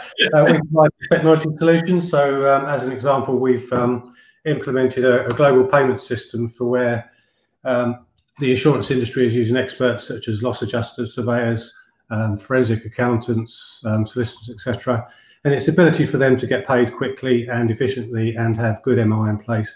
Um, and this sort of technology issues is something that the, the London insurance market really suffers with. So, um, so that's a, a, great space for us. And we've only been trading trading five years and not quite as successful as, as, you, but we're up to a revenue of about two million per annum. So, so we're doing sort of fairly well. Um, the COVID-related thing that you've asked me to talk about um, relates to rapid testing. Um, so people may have seen on TV that um, rapid testing is now available in schools and universities, etc., etc. But um, there's been some concerns about these these test kits. Well, it's now possible to provide test kits, um, rapid test kits to the masses at a, really cheap cost, something that's far, far cheaper than if you went online and looked at Boots or Lloyd's Pharmacy or something like that. And they can deliver results within sort of two minutes, sometimes um, up to 15 minutes. So you can buy a test kit, you can test yourself at home, and you know whether you're positive or negative within two to 15 minutes and these got these have been signed off by all the sort of necessary regulatory bodies, and um, they've got an accuracy ratio of ninety-seven percent. Wow! Um, so, so, of course, what this does is it gives people the ability to, you know, open up their bubbles, um, you know, test people before they come into their households. It allows people that are part of their job is actually going out in, into the community and for them to sort of test and test people that they're going into the household. So it's it's got real wide-reaching benefits, and as I say, it, it's a fraction of the price of what's um, what's actually out there at the moment. Yeah. No, um, thank you, Paul, for sharing that. Um, now, reason I've asked Paul particularly to share this story, um, especially around the test kits, not, not only because you may know of people who would greatly benefit from this, and equally organisations which could benefit as well, but actually there's a much uh, another part to this as well. It's one of the things that we sort of discussed about uh, a little bit before Christmas was uh, actually, the, on one hand, the market's so vast. Um, is you know where where on earth do you start? And we talked a lot about was it segmentation, didn't we? It's a very uh, horrible word, but about segmentation, how you could segment and micro segment and micro segment again, so you could get to those those individuals that would help to give you uh, the leverage, didn't we? And um, what, what does a really just give us a bit of a feel what a really good client looks like to you because i'd like to relate this a little bit more in terms of strategy you can put in place to niche down so other people can benefit from understanding you can really niche down to get to your ideal target client groups yeah so it's, it's a mixture really so within the insurance industry i've already got links into loss adjusters and surveyors so I, have already reached out to them and, and they've taken me up on the the offer of um, using some of these kits. But the ideal client has to be somebody that's that's looking at mass distribution. So you know, getting this into schools, getting it into universities, um, possibly getting it into football stadiums or or um, events, so that people can actually be tested before they go into the events. So you know, a client, great client might be something like Boots, it might be like Lloyd's Pharmacy, or it could be Tesco's, it could be Sainsbury's, um, and so what you've done is you've given me some really clear advice on how to target those sectors. Um, so prior to us connecting, which was literally only two weeks ago, um, I, have got eight and a half thousand contacts on LinkedIn, which I thought was great. Um, but I don't use those contacts and I didn't know how to use those contacts. And through the use of your tools, um, it's given me the ability to make far more new contacts in a, a targeted way. and target certain industry sectors. Yeah, no, lovely. Well, thank, thank you, thanks for that. Uh, that's really appreciated. Um, I think the uh, part of Paul, if it's right, I could share with everyone, happy for me to do this, is um, one of the things we really talked about was that you've already given some really good indications there of um, perhaps schools, uh, could be universities, it could be sports grounds, and so on. But we and we also talked about who might be in the marketplace who would give you those routes of distribution as well, didn't we? So um, which would which would enable those multiple sales. Because if, if you're trying to sell uh, offer individual test kits, you know, as one kit, there's no return for you, is there? Because it costs you far more to to administer that and send it out um, than anything else. Um, so, because I think the context we would talk about as well is in terms of through LinkedIn, how you've been able to really segment those down. Um, so how when you first started off, you know you do a countdown on LinkedIn and you do a bit of a filter. Presumably, when you first started, you end up with a very large number, which just almost went off the Richter scale. What, what, how many were there to start with when you started reaching out? How many did you manage to narrow that down to in the end of people you were primarily looking to speak to? Um, so I think there was about 27 million. Um, so through the tools in LinkedIn, you could reach out to 27 million. But it, it just becomes crazy. And as you say, they're, they're individuals, they're small businesses, they're big businesses, they're influencers, they're non-influencers. So it was really trying to target those down. And so as one sector we looked at was the, the sort of health sector, mm. um, sort of sports clubs, fitness and that sort of thing. And through looking at sort of C-level directors, managers, um, people that could actually influence the purchase opportunity, we managed to get it down to sort of 250 people. Wow. So within each sector, sort of really target those people that could influence it. Yeah, no, that's lovely. But that, that, that's a really um, good, good, example, actually. Now, the reason why I, I, go into this part of it particularly is, um, which uh, Paul, you and I have discussed already, and hence you've uh, been very sensible and decided to go down that route, is a lot of people, when they first do their searches on links, this is benefit for everyone here, is they'll end up with some very big numbers. And of course, LinkedIn are only ever going to give you a tiny segment of that, even if you go for their Sales Navigator product. But what you've been able to do is you've also been able to be able to pre-approve all those people before they go into a campaign, haven't you? So you know you're only able to reach, you're only going to be reaching out to those people you've pre-approved. So um, what Paul's done very smartly here is to be able to determine what his overall list is segment it, segment it down again, segment it down again. He's got his core 250 people, and that that's part of the first campaign is to reach out to those who've understood it correctly. Um, with that, and the nice thing is, of course, you then target another micro niche, can't you? After that, then another micro niche, and then another micro niche. And the, the best thing is, apart from paying for any, you don't need to pay any for any pay for click for this. Apart from a Sales Navigator account, you, you, you, LinkedIn give you the tools, the toolbox uh, to be able to at least find those people. It's then about how you engage with them and then do everything else around it, isn't it? So, um, is that yeah. fair? Yeah, no, that's that's a fair summary. So it's it's proven really useful, and um, yeah, I'm really excited what um, the next few weeks holds for me. No, lovely. Well, thank you very much, Paul. Also, we're looking forward to uh, uh, to working with you. Have we had any questions come up that people? Yeah, might... we have, Rupert. Um, this is for Paul. So Thomas Eccles has asked, that's very interesting. What is the production rate of these kits, Paul? Uh, there's currently 2 million kits coming in per week. Wow. wow. That's quite a few. So I think you could yeah. satisfy the supply there, I think. yeah. So currently we have stock of um, kits of um, boxes of 20 kits. Um, so they're not sold individually, and we're hoping to have boxes of five kits within the next few days. Wow. Um, that's, that's two million kits coming in per week. Yeah. Yeah, no, good. Um, now, obviously, if any of you are very interested in this, by the way, obviously, because it's not really about promotion today, because it's about sharing value. But if you would be very happy to message Muriel or myself um, uh, privately on this, what we'll do is we'll pass any uh, interest straight on to Paul uh, for you um, on that. Uh, but obviously, for example, you may yourself support a big football team uh, you know, or a conference center, and you might know someone use, uh, there. So, um, uh, actually, Paul, why don't we give? Are you happy to give out your email address? Do you want to put that in the chat? We wouldn't normally do this, but do you want to put your email address in the chat and uh, on uh, in, in the stream in a minute on Facebook? Or Muriel, do you want yeah. to? Should we put it? Would you like us to put that in the chat for you? Paul? Yeah, for, for you to. Uh, yeah. in uh, Paul's um, email address into the chat, if that's okay. Um, yeah, now, yeah, that'll be the Panda, Panda Faith email address. Yeah, of course, we'll do that. Um, and what, what we'll do is if um, if you've got some people who you feel may uh, benefit from this, especially in light of what's going on, if you could just message Paul uh, directly, uh, that'd be absolutely great. Um, I know Paul obviously is not so well equipped to deal with very small individual orders, but if you know organisations which may uh, uh, be able to give extended reach in that way, I know Paul would be very grateful for any introduction. So, um, is there anything else, Paul, you'd like to add to this now? Not really. I think, um, I mean, if this had come sort of a month earlier, you know, how, how different could Christmas have looked? You know, we wouldn't have had to cancel our Christmas bubbles. We could have tested everyone that came into our house um, which we actually did personally because we've got the kits. But um, you know, it, it, could have opened up Christmas for the masses. Yeah, it, it is a shame, and uh, it's, it's sad we only got to know you a few weeks ago, Paul. But uh, anyway, absolutely greatly delighted to have you on board here. Yeah, thank, thanks yeah. for the opportunity. No, thank you, Paul. Really appreciate it.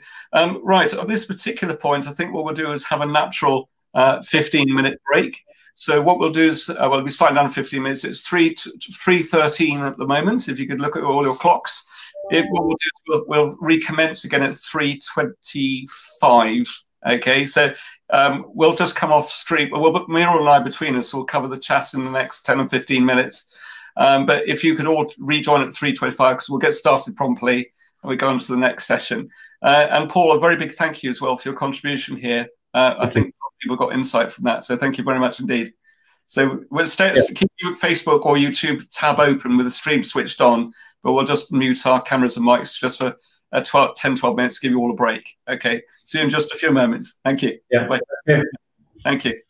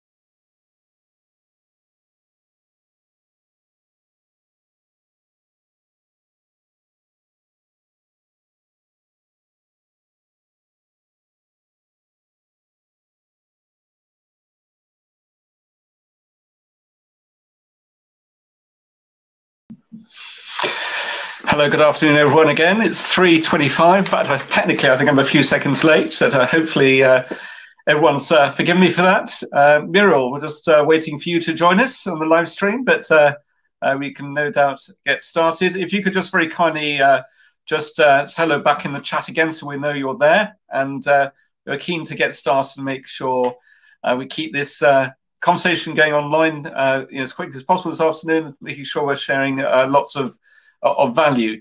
So uh, welcome everyone again, and also thanks to Paul for uh, sharing his insights. Uh, so the reason I wanted to drill down on that is uh, is about understanding how you, even if you've got a product or service which has very very broad appeal, how you can really segment and micro uh, micro uh, segment again to really reach your ideal type of target clients. Um, so uh, what we'll do now is we'll get uh, we'll carry on because we've said 325 and it's now 326 and um, uh, we'll uh, so let's move on to the next part of it. So one of the things that we would uh, draw your attention to is the fact that it's really important about having a what we class as a balanced product uh, portfolio. And also it's important to get your marketing mix right um, and to make sure your social selling uh, blueprint is all in place.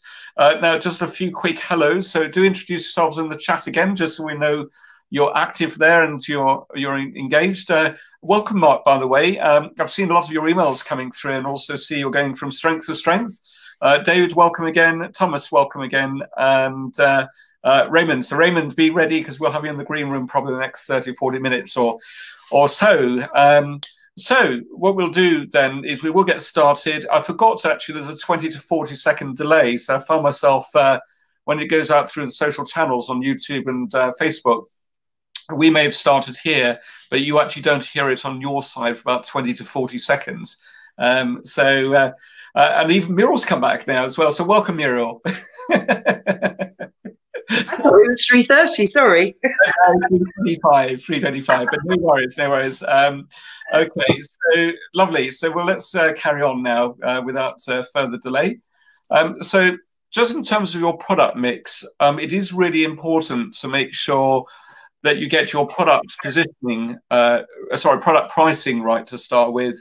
Um, and uh, also your research. Now, research doesn't always have to take the form of formal market research as such. Um, it can be a case of doing some real-time R&D with your potential customers. Because at the end of the day, if your potential customers spend money with you, then you know you're potentially on to a good um, good innings. What you don't necessarily know is whether you got your product pricing right, and there's all sorts of strategies you can put uh, in place around that. But on the subject of product pricing, when we just talk about it, if, for example, you would buy a premium, a premium brand of car, for example, let's say an Aston Martin, and suddenly Aston Martin decided to get more sales, they would uh, reduce the price of their cars by, you know, fifty percent. Um, what what you'd find is invariably that would do a lot of harm to the brand. Okay, so they may get a bit of a surge in sales initially, but suddenly that car would not have the same perceived value in that person's mind, and as a consequence, the long-term effect of that could be very negative. So if you offer your service at too low a cost, that can do just as much harm as if you get offer something at uh, too high a cost. It's just worth bearing that in mind. It's also about getting your product proposition correct, and uh, we talk about, a bit more about that in a moment. Also, making sure your product is desirable and people actually do want what you have to sell and you you get your um, product mix right and your positioning right. So uh, moving on a little bit from that, here is an example of a, uh, luxury coffee shop or tea rooms uh, got oversubscribed. And I first this actually was taken photograph was taken in February. Uh, literally uh, just down the street, you know, 20, 30, 50 yards away, there was another three or four coffee shops, and they all were virtually empty. And yet, this one was probably one of the most expensive ones around there. And look, are people queuing up to get inside? So an example of an oversubscribed business. So what can you put in strategies can you put in place to make sure your business is oversubscribed um, so that you don't have a shortage of customers and you can charge much more appropriately uh, for your product, service, or widget. Now, I'm just going to relate this a little bit to ourselves as well. We've it's about having a balanced product portfolio. So in our particular case, cl clearly we're more of a service-based business, although we do cut across onto the technology side as well. Um, so we've got products for free. So for example, you're taking part in a mini conference this afternoon. Um, it's all about sharing value and accelerating the relationship of trust. And uh, uh, we also run the live streams for free and our networking collaboration events, they're for free. Um, so the reason we do this is if we can build up deep, meaningful relationships at the very start, then you build up a very loyal following of people who want to see you succeed. And we can help a lot more people as well. So now that's all very well. Obviously, every business still has to make a profit. Um, otherwise, there's no point um, being in business because you won't last very long. And then what you may have is what you class as your foundation products. So, um, so a foundation product is something which would be a bit of a sprat to catch a mackerel. Now, a foundation product could be anything from an ebook or a book you sell for five or ten pounds or dollars, all the way up to something that's several thousand pounds. Okay. So, for example, if your core proposition has an average value of sale of 500 pounds, okay, your foundation product might be the example of a book. Okay, might be a 10 pound product, five pound product. If you've got a, a your core product is actually like a five thousand pound, ten thousand pound, fifty thousand pound, hundred thousand pound sale, it may be your foundation product actually is around about the thousand pound mark, or it could be two thousand, five thousand pounds as a foundation product. Um, so you'll notice that the price points are very, very different. And that typically is because you're also appealing to a completely different uh, customer uh, type as well. Okay, so let's take a, so a couple of real examples of this. If you're a coach, trainer, mentor, or consultant, you your core proposition might be like a five or ten thousand pound sale. So in that case, a way of drawing people in is to offer something which is probably sub a thousand pounds or you know under about a thousand dollars. Um, in which case they make some form of purchase with you. Um, they've invested a bit of time and money, and it's not a big step to go up to the next level to go to one of your core products. Um, another example is an organization that we've done quite a bit of work with who've got um, the, the complete opposite end. Their average value of sale is, uh, as a core product, is between two and five million pounds. And their foundation products, interestingly enough, are typically a fifty thousand pound or a hundred thousand pound uh, project.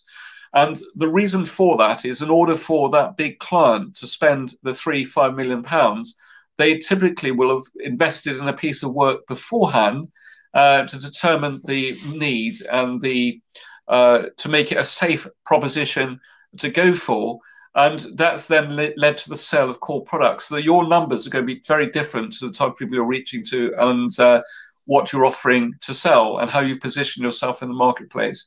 You also may then have products for upsells, cross sells, and um, everything else. So um, we've obviously, broadly speaking, replicated that model, and it certainly works well for us. I would encourage you also to adopt something very similar yourselves if you're not already doing it. It's also about having an understanding of your ideal uh, client types, uh, your competition, um, how you stand out, what is your differentiation, and also your company positioning and your awareness. You need to make sure all those things uh, are absolutely in place. And uh, also, you need to have a good marketing plan. Now, it doesn't need to be a formal living, breathing document, but certainly you should be able to adopt and use what we class as the social selling blueprint. And as we've talked a bit earlier on, it's about having a really good um, uh, process involved around these these three cogs fundamentally. So that way you can get them all turning in sync. And uh, a few quick case studies for you. Um, now, Claire Barrows runs a call center in the Southborough or Tunbridge Wells area. Um, in the first six months of working with her, we managed to help her find 11 new clients, which is uh, really exciting. Um, Claire has some very interesting clients, including people like Mercedes Benz and others. Um, it's also important to understand that any marketing campaign you put in place um, needs to, that you understand the importance of the snowball effect. So when you first started reaching out, um, for example, it may be that people aren't ready to buy at that point. Just because it's convenient to you to sell what you have to offer now and you may want money in the bank now, in real terms, people have all got their own agendas and timelines that they work to. And a really interesting case in point, actually, I don't know whether Damien's on the call today, but I've known Damien, for example, came on board as a client uh, for about five years. Um, and it's only recently he's become a client. And in his particular case, it wasn't because he didn't want what we had to sell or to offer. It was because the timing wasn't right. So what I would say to you is that with any form of marketing, whether you do it as pay per click or whether you uh, everything else, invest for the medium long term and focus with the customer in mind.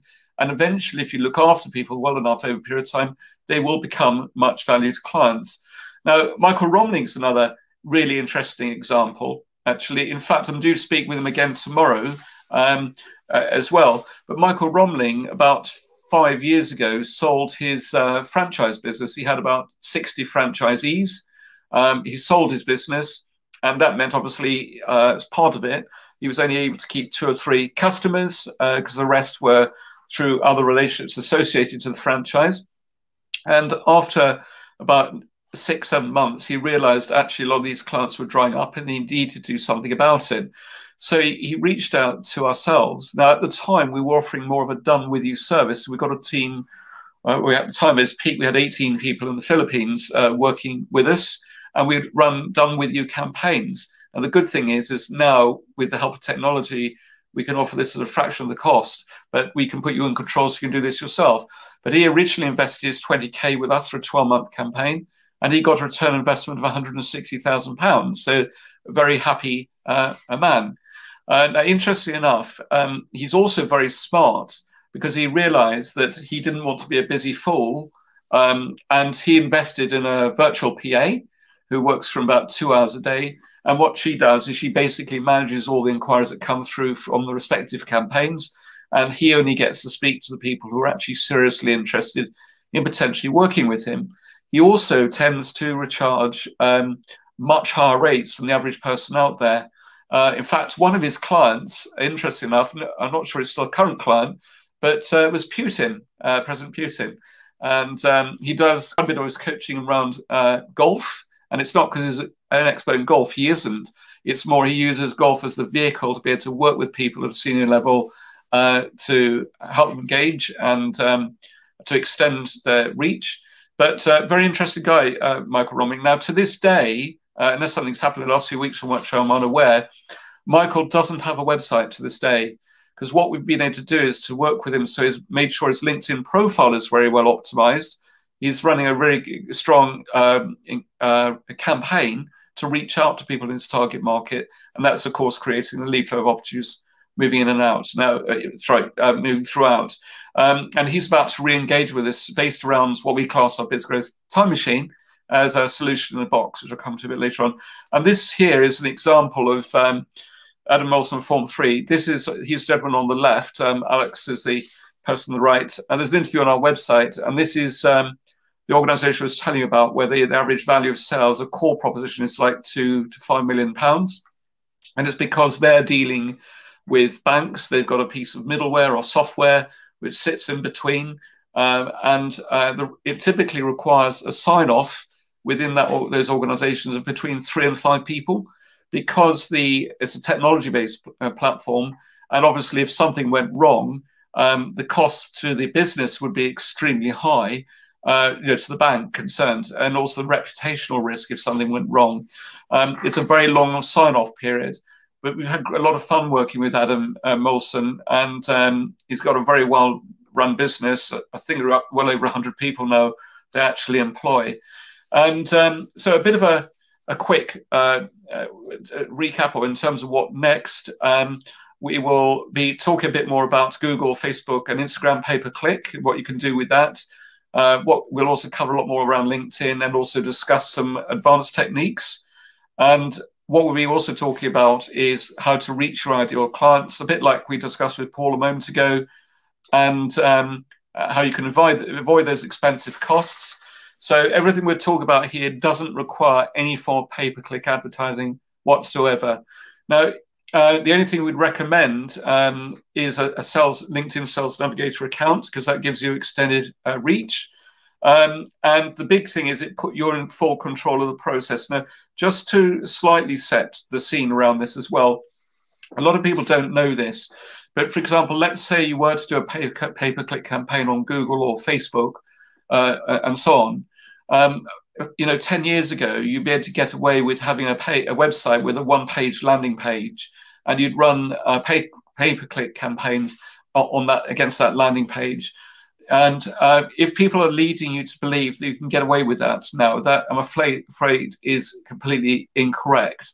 And the reason for it is that, yes, you will get some clicks, uh, you may get some opt ins from it, but Google won't give you a decent ranking um, with themselves unless the landing pages are very, very uh, closely tied in with the adverts which are appearing as part of the pay per click campaigns.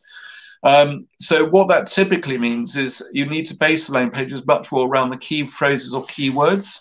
So maybe to have a well optimized campaign on pay per click, you might need five or even 10 different landing pages to suit the people you're uh, trying to reach.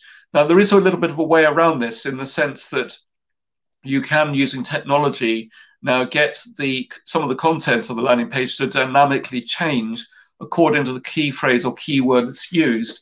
But a lot of people don't use this, and even that's quite complex and uh, fiddly to do. But nevertheless, it is the next part of this. Now, what that means is that if you do things the right way, your cost per click goes right down, and Google will love you because um, uh, you're getting there's much more traction with the um, you know what, what adverts are being placed. So your your your rankings will be much higher as a consequence. Now a lot of people are unaware of this, so they wonder why they're literally pouring money down the drain. And remember, a click is just a click. Um, you can do some bit of retargeting uh, on some of the platforms, but the difficulty is you're still not going to know who those people are because for data protection reasons, and also because the, the, you know these platforms are keen to protect their IP, which in effect are their people um, who use their platforms, um, you you don't know who they are. So uh, what it really is a case of doing is to get someone to take some form of action. Typically, you've got to get someone to take that form of action within the first five to eight seconds of being on your website. Um, so that means typically opting into something. Um, now, you shouldn't should always be prepared to share lots of value up front, which doesn't require an opt-in but you also need to have something that people can opt into so you can start to bring them into your nurturing process. So um, now we talked a little bit about this earlier on, and we also talked about, you know, how much do you really value your time? And some of those headings are in both parts, both the free and the paid for.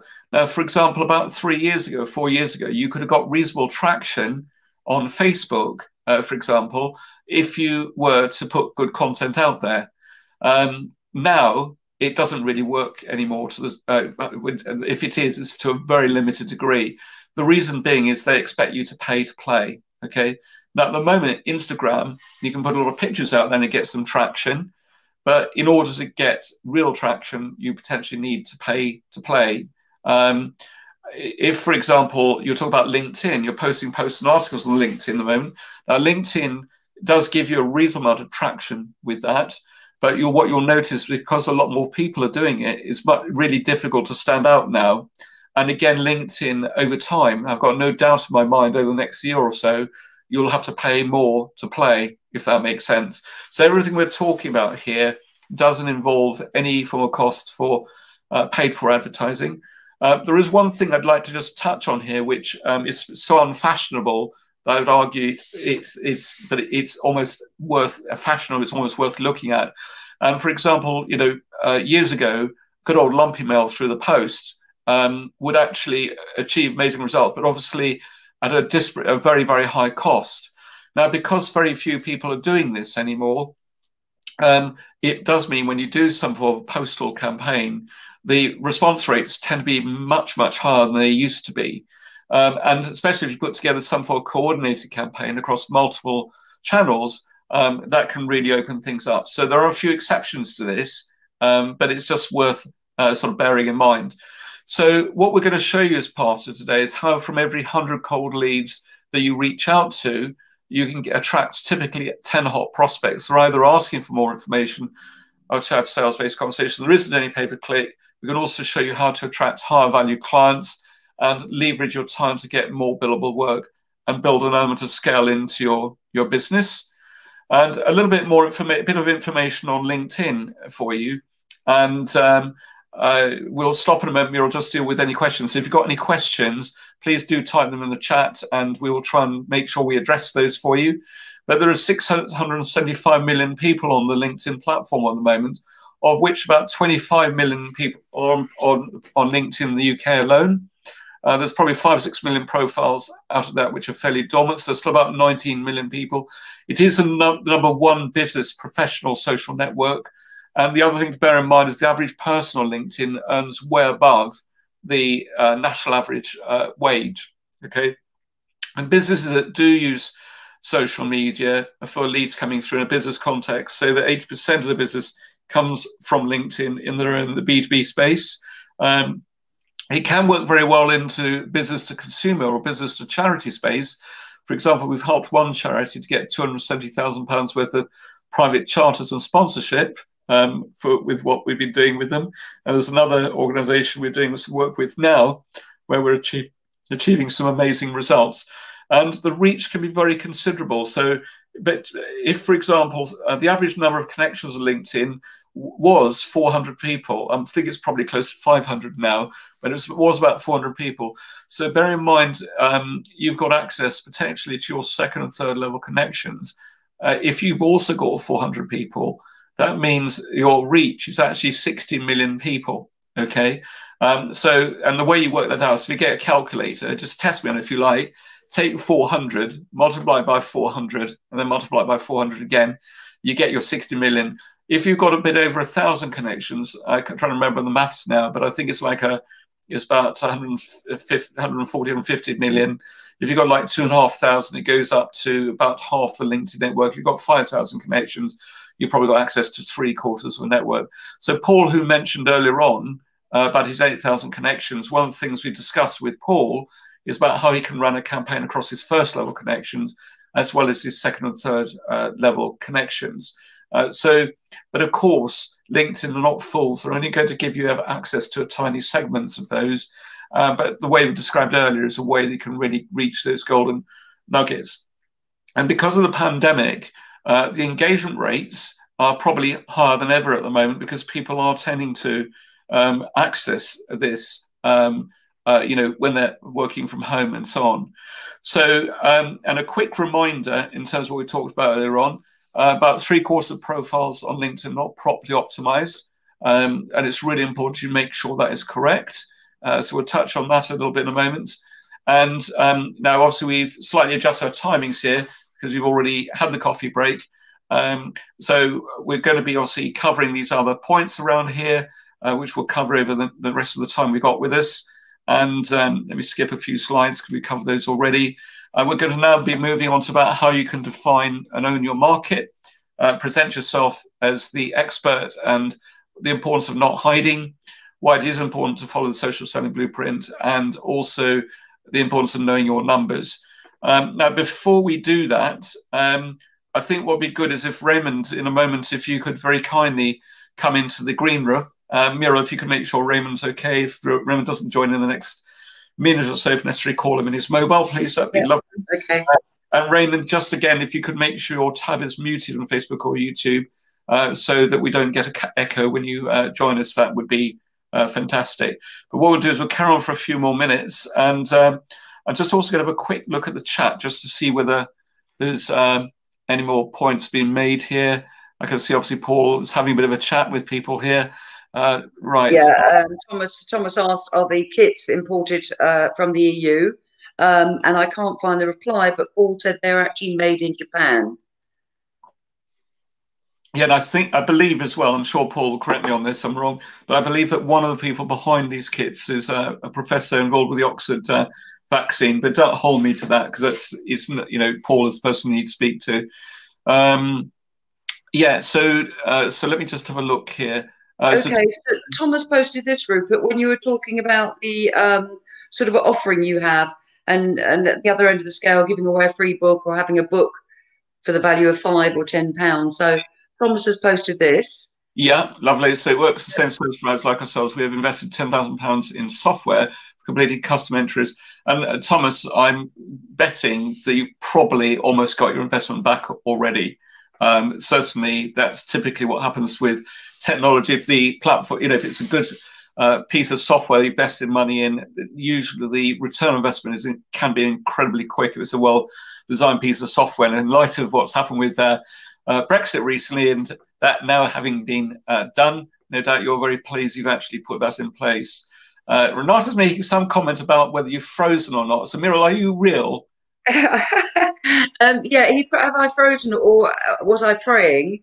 Um, and when I explained no, I haven't frozen, he was so pleased. I do, I do have life in me still. Oh dear, dear. Anyone who knows Renato, by the way, has got is um it's got uh, an amazing sense of personality. But you have to, I'm sure, as Renato would say himself, would have to be a little bit unique to understand it. But uh, we all love Renato, so uh, keep, uh-huh. keep um, right. Okay, so Raymond is in the uh, the hot seat now. Uh, so let's uh, bring Raymond in. So Raymond, nice to see you. Yeah, I could ask you all the lovely things about whether you had a great Christmas and New Year. Hopefully everything did go for you okay. Now we've got no audio at the moment. Uh, let me just, uh, you need to unmute your microphone, Raymond. I think Raymond's having the same problem.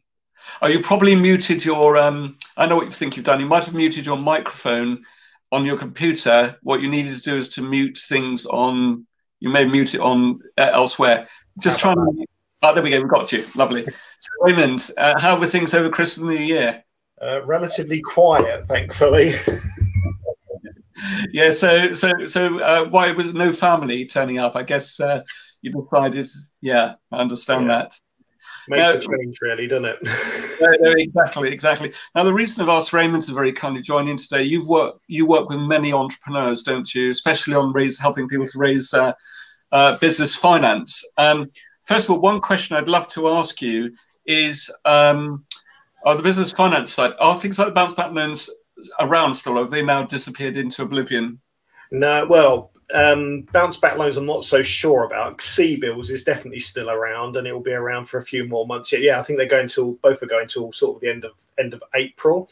I think it I think it seems to have it does seem to have eased up. Um, I think what it has given uh, one a tip which I've found over the last, especially over the last two or three months, is if anyone is having challenges getting funding because of their prior year results, um, because it's all a bit um, computer says no um, in terms of the process, because of the extension, what I'm finding with clients is we're actually filing short period accounts. We've been talking to the accountants where performance, if it has been improving, in, should improve the ability to get funding during this period leading up to um, over the next two or three months. So, um, some of the clients I've worked with in, over the last year or so have had challenging years and therefore have found CBILS in particular uh, exceptionally challenging. So, we've gone, well, as performance has got a bit better as in it hasn't lost money because of the changes they've made and everything else. They're actually able to go back and approach funding again with a slightly more positive outlook.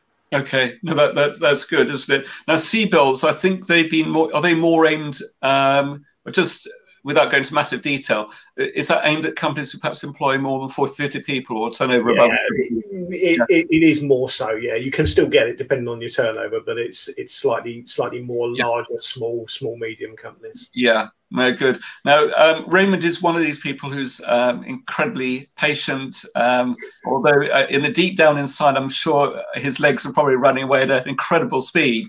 But one way or another, you seem to show to clients, to other people, uh, the very calm side of Raymond's Holt. Um, uh, so, how have things been sort of going in terms of? I understand there's a bit of a celebration to be had as well, in the sense that uh, Muriel's has shared with me. You've got your LinkedIn profile very well optimized now. Uh, so as we speak. Uh, what's that ex experience been like for you? Well, I I've really enjoyed going through and revisiting um, my looking at other people's profiles like yourselves, Damien's. I was just looking at Michael Roamling's as well, and actually refining my profile. But I've also been refining in many ways my whole proposition. And this came along I think it's part of the reason why it's taken us a little bit of time to get to work together, uh, Rupert, is I it, it's come along at the right time now. I've looked at the whole my whole proposition, and this has actually come along at the right time. And I'm really looking forward to uh, when Mira and I catch up later in this week, how we move forwards from here and how actually get the message the way I, the message I've got to many, many more people than just Yeah. um, just my own my own network. Yeah, no, lovely. Thank you. I'm also delighted to hear that as well. So, uh, uh, but uh, Raymond, prior to obviously us getting to know each other, or you started to get uh, more involved with us, um, what have been some of your lead generation strategies in the past, and what's worked for you and what hasn't worked? Well, two. I've really had only two strategies. One is uh, referrals, Yeah, which I think, and the other one is presentations, where I consistently was standing up and talking to people, talking in front of people about what I do and why I do it. That fundamentally, whilst I've posted on things like LinkedIn and Facebook and the like, I've never really been as consistent as I would like to, as I'd like to be. So I've kind of relied on who I am and me personally to um, bring clients in, which is it's like putting the ball on the penalty spot, isn't it? It's, it's it's it's pretty relatively straightforward to score a goal, but it's not actually going to score you many over a season. Yeah, I love the analogy as well. By the way, that's that's really good, isn't it? I think it's a really interesting case in point as well because um, uh, Raymond, in many ways, I think you be, be slightly blessed as well because because of your skill set and uh, and also because this whole area of business finance is particularly relevant at the moment.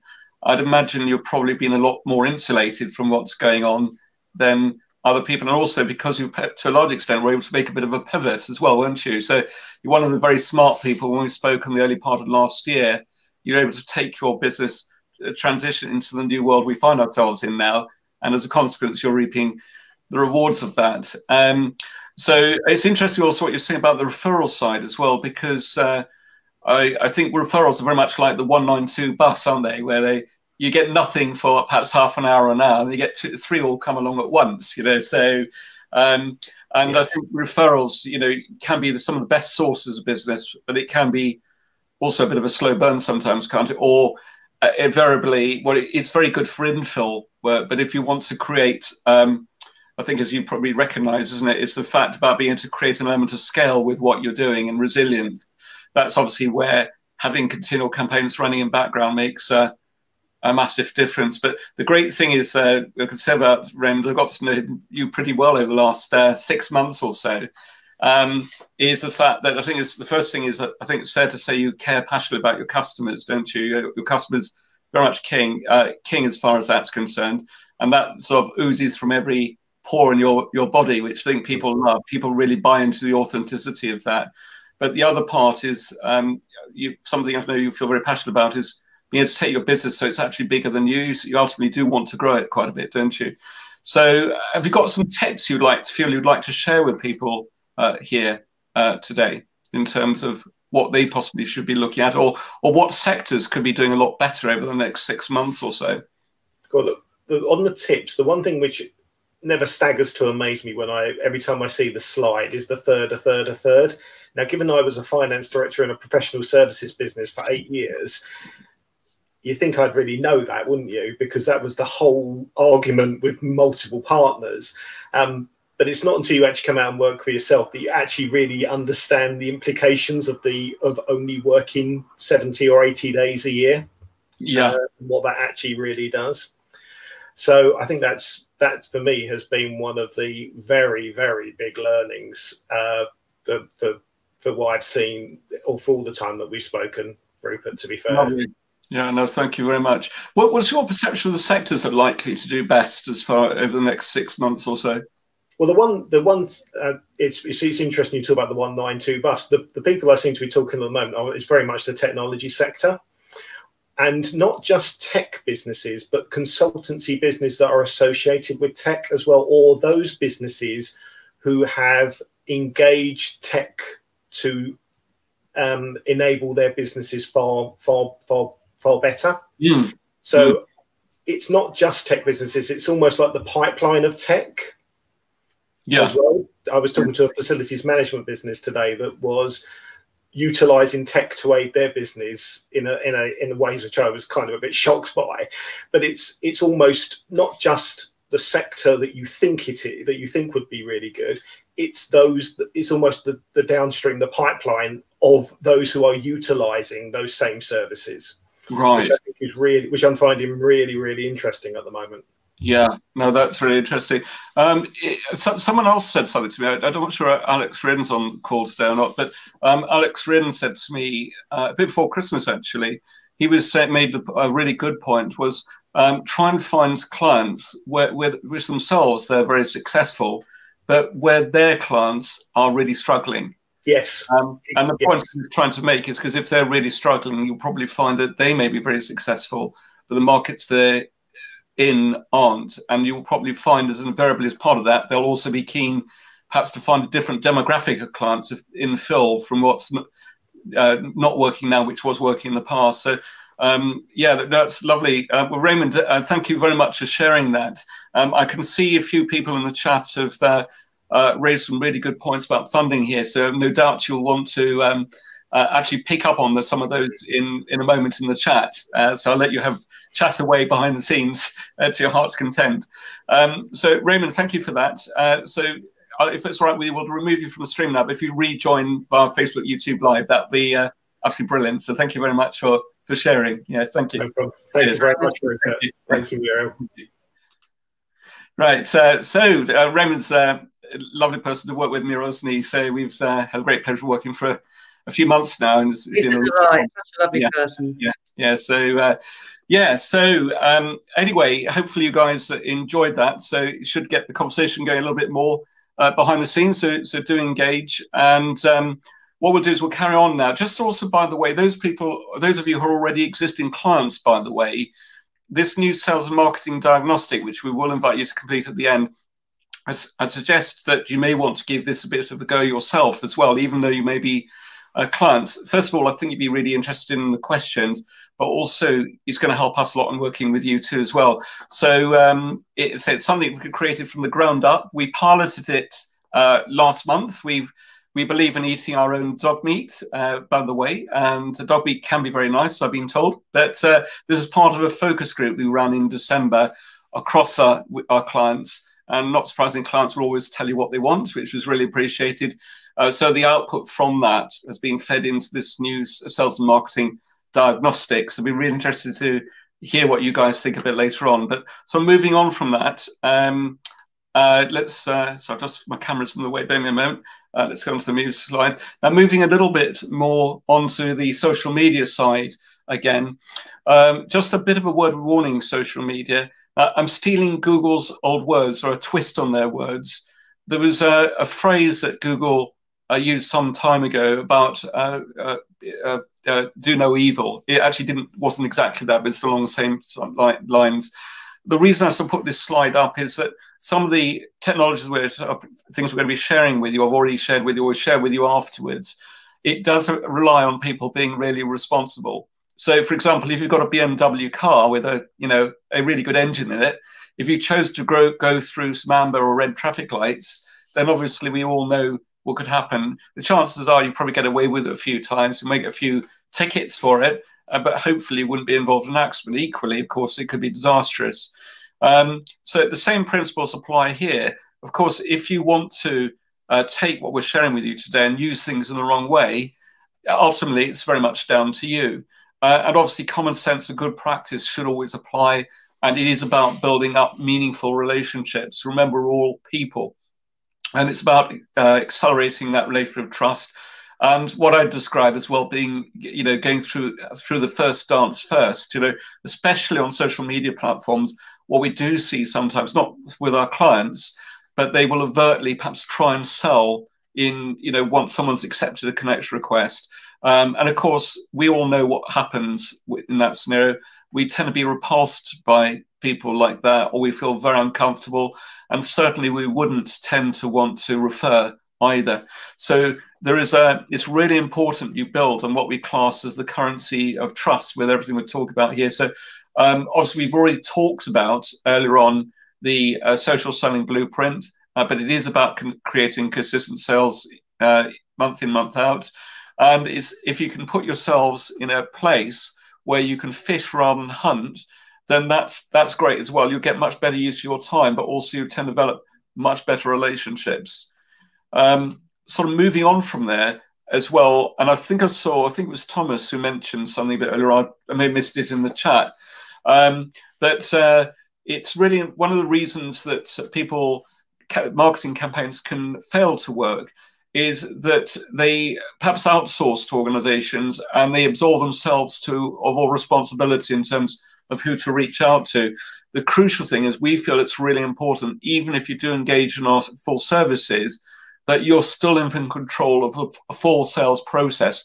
Uh, we can do show you how to do all the heavy lifting. I uh, could take that bit away from you or give you the tools to be able to do it. But it's really important you're in control of that because at the end of the day, that will really determine the success and also make sure you're attracting the right clients who where you can command the right type of price for your service provision. Uh, it is about being able to create clients on demand with predictability and also get people warmed up so they're asking to have those conversations. And if you do things the right way, then you will be creating fundamentally the engine for growth. And I'll just give a couple of other case studies here, uh, just so to give you a little bit about, about, the reason behind this. Yes, of course, it's nice, it helps to uh, give you a bit of a sense of the type of organizations we worked with.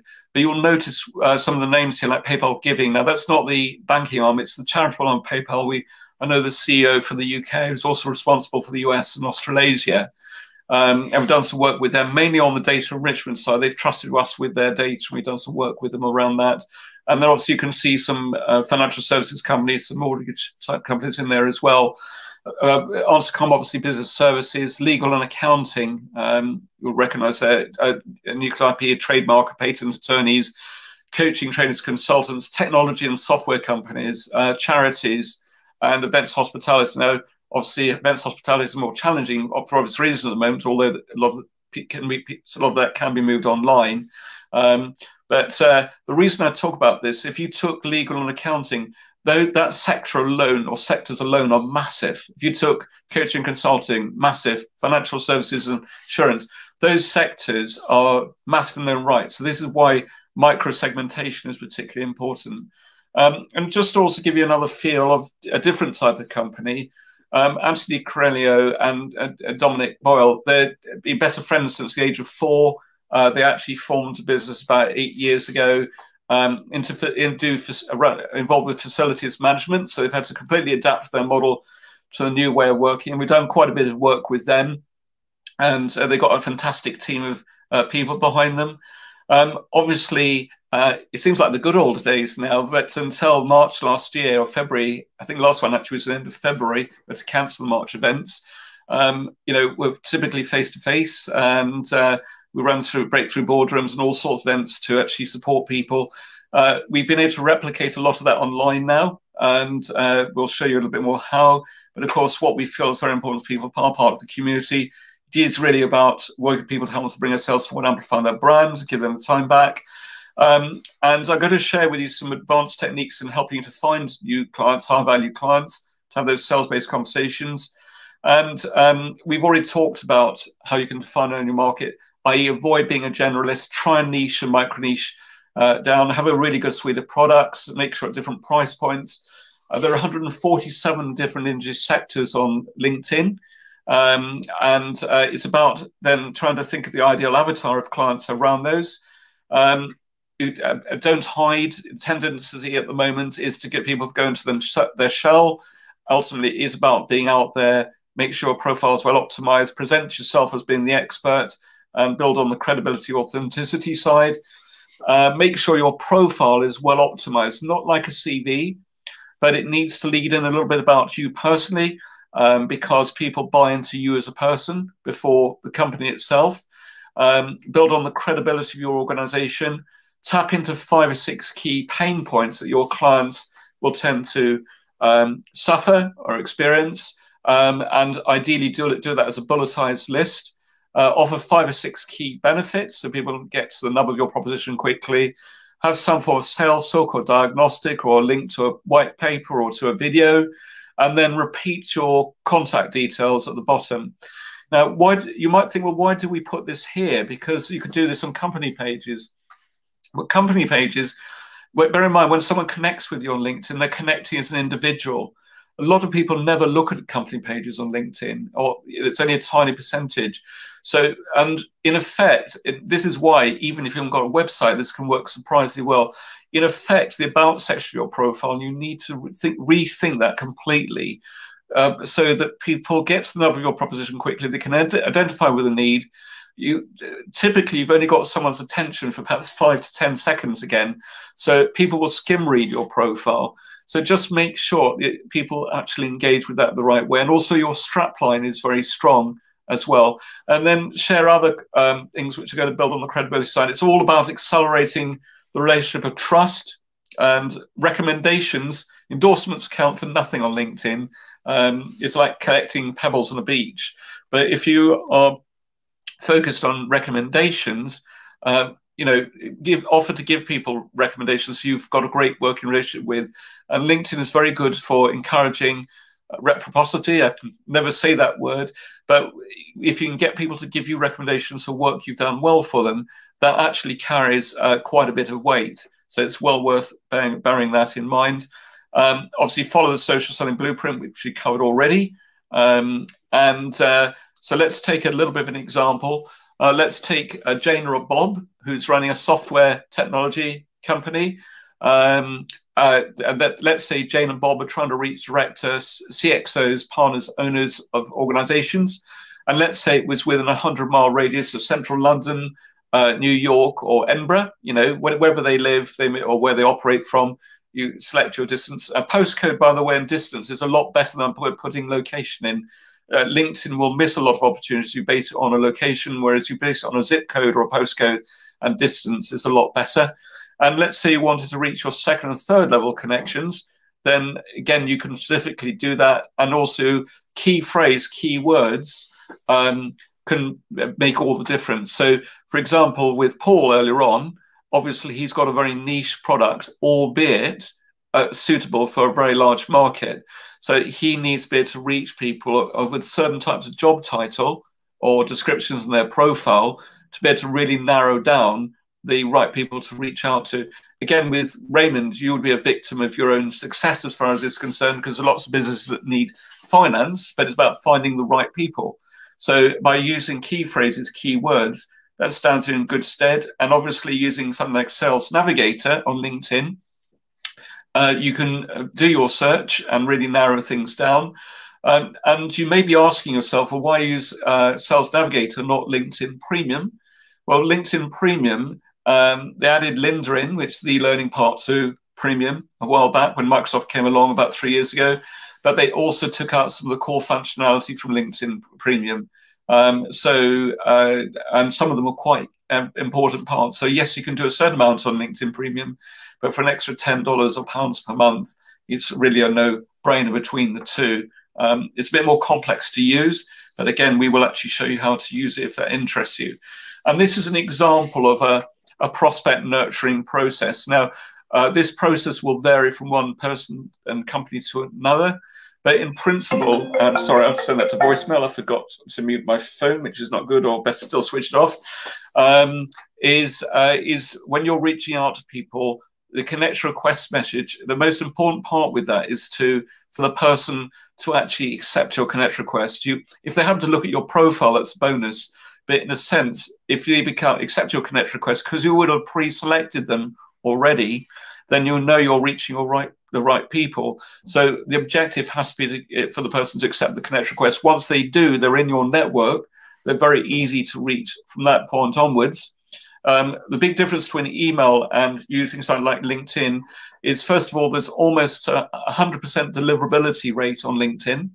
Uh, whereas email, you might find the deliverability rate is, uh, you might think it's 100%, but it might be it might be 35, 40, 45%. The deliverability, the open rate could be anything from like 2% up to 25%. Here you're talking about 30 to 50% acceptance rate then the open the deliverability rate and all those messages is pretty well 100%. It's the um, it's what then people do after that point onwards. So what you'll find is for every 100 people you reach to, by the time you've gone through each part of that process, you'll find roughly 10 people out of every 100 will be either asking for more information out of a sales-based conversation. Now, for example, if Raymond, uh, sorry, not Raymond, uh, well, he's Raymond, but um, if you took Paul as case in point, he's got a very niche uh, product, albeit a very wide market appeal. Okay, so if uh, Paul gets his targeting right, he may well find his um, uh, figure is much higher than 10% at the bottom. Okay. Um, in other cases where someone is very much presents themselves being a generalist, goes about it wrong, obviously percentages can be uh, a bit lower. But it's just worth bearing that in mind. And for example, in email, if you manage to get a click through rate of anything from 2% to say 10 or 15%, you're doing really well. When we talk about 10% here, this is not a click through rate. These are people who already determine there's an element of interest there and they're actually asking for it if sales based conversation. So it's not, it's comparing apple with pears. So the difference here is you're reaching out to people in your target market and much higher engagement rates. So it is much easier to fish if you do things the right way. And so let's look at some key numbers around this uh, as well. Um, so just bear me a second, I lost my mouse pointer. Um, and if we look at the sales optimization uh, system as a case in point, now this uh, these figures are just obviously example figures, but I'll explain why I'm going through this in just a moment because it will start to become self-evident. But let's say your core proposition, your core value of average value of sale over one year uh, per client was ten thousand pounds or dollars. Okay, um, and allowing for churn, the fact that not everyone will stay on for three years. Let's say over three years, the same clients uh, generated a total over a three-year period of twenty-five thousand pounds of dollars and then allowing for the fact you may lose some more clients in years four and five, um, but equally they may give you more business. Uh, so others will give you more business. Let's say over the same client over five years on average is worth thirty-five thousand pounds or dollars. Okay, so these are just imaginary numbers. So and, and this this would be quite typical of an accountant who's got a reasonable client. Um, equally, for a software technology company, uh, this could be similar. I do know of companies where they've got reverse churn. So, in other words, instead of they may lose some customers along the way, but what they do is they they those custom, customers they've got actually refer other people in or they upgrade. So it is quite possible to have reverse churn. More typically, it's the other way around. And let's say uh, you wanted to reach um, uh, have three more clients per month, so that's 36 per year. Then, based on these numbers, that would actually uh, generate those those 36 people from a 12 month campaign would generate you £360,000 worth of revenue. Now, does that mean they're all coming in the first year? No, because of course, if you reach out into someone in month 11, then the sale will probably come into the second year. Okay. But the point I'm trying to make there is if you took the same clients as part of a 12 month campaign, they've got the potential based on these numbers to generate you uh, nine hundred thousand pounds over three years, or dollars, or, or the equivalent of one point two six million. Now, those numbers, if you're a really small business, may be off the Richter scale. But whatever your numbers are, just replace them instead. And we've got a special calculator which we can go through individually, with people if they want to. But I just want to take this calc, uh, extrapolate this a different way. Um, and the reason I've shown this as well is this thing about a perceived flight to safety. People can perceive that when the market's a bit temperamental like it is at the moment, um, that they better try and preserve cash rather than actually taking decisive action. So let's say you decided you wanted to grow your turnover, which currently, let's say, was standing at 250,000 a year at the moment, and you wanted to grow it to 400,000 pounds a year. Um, basically, the monthly lost opportunity cost of take by taking no action would be £12,500. So basically, um, if nothing changes, I would say normally everything stays the same. But in fact, is that actually true? Is it a case we're going backwards um, based if we took no action? Let's show you the same 250,000 a, different way. Um, so I just realized I lost my mouse pointer again. Um, let's took it another way and let's took the two hundred and fifty thousand pounds. You want to grow it to four hundred thousand pounds. I think we're just get the calculator. Again, don't believe me on these figures. Just get a calculator out, be able to work it for yourself. That would result a loss opportunity cost of twelve thousand five hundred pounds per month. If you can, you took no action, and let's say you actually lost customers or the customers that you got perhaps turned a bit bad or couldn't pay you. Um, in fact, the lost opportunity cost isn't £12,500, it's £19,375 per month. So the, the risk of failure or things going wrong if you take no action can be far worse, uh, or in fact, can be decidedly negative uh, for your business. In fact, even affecting its survival by taking no action. Whereas if you took decisive action to move forwards, it can put you in a really good place.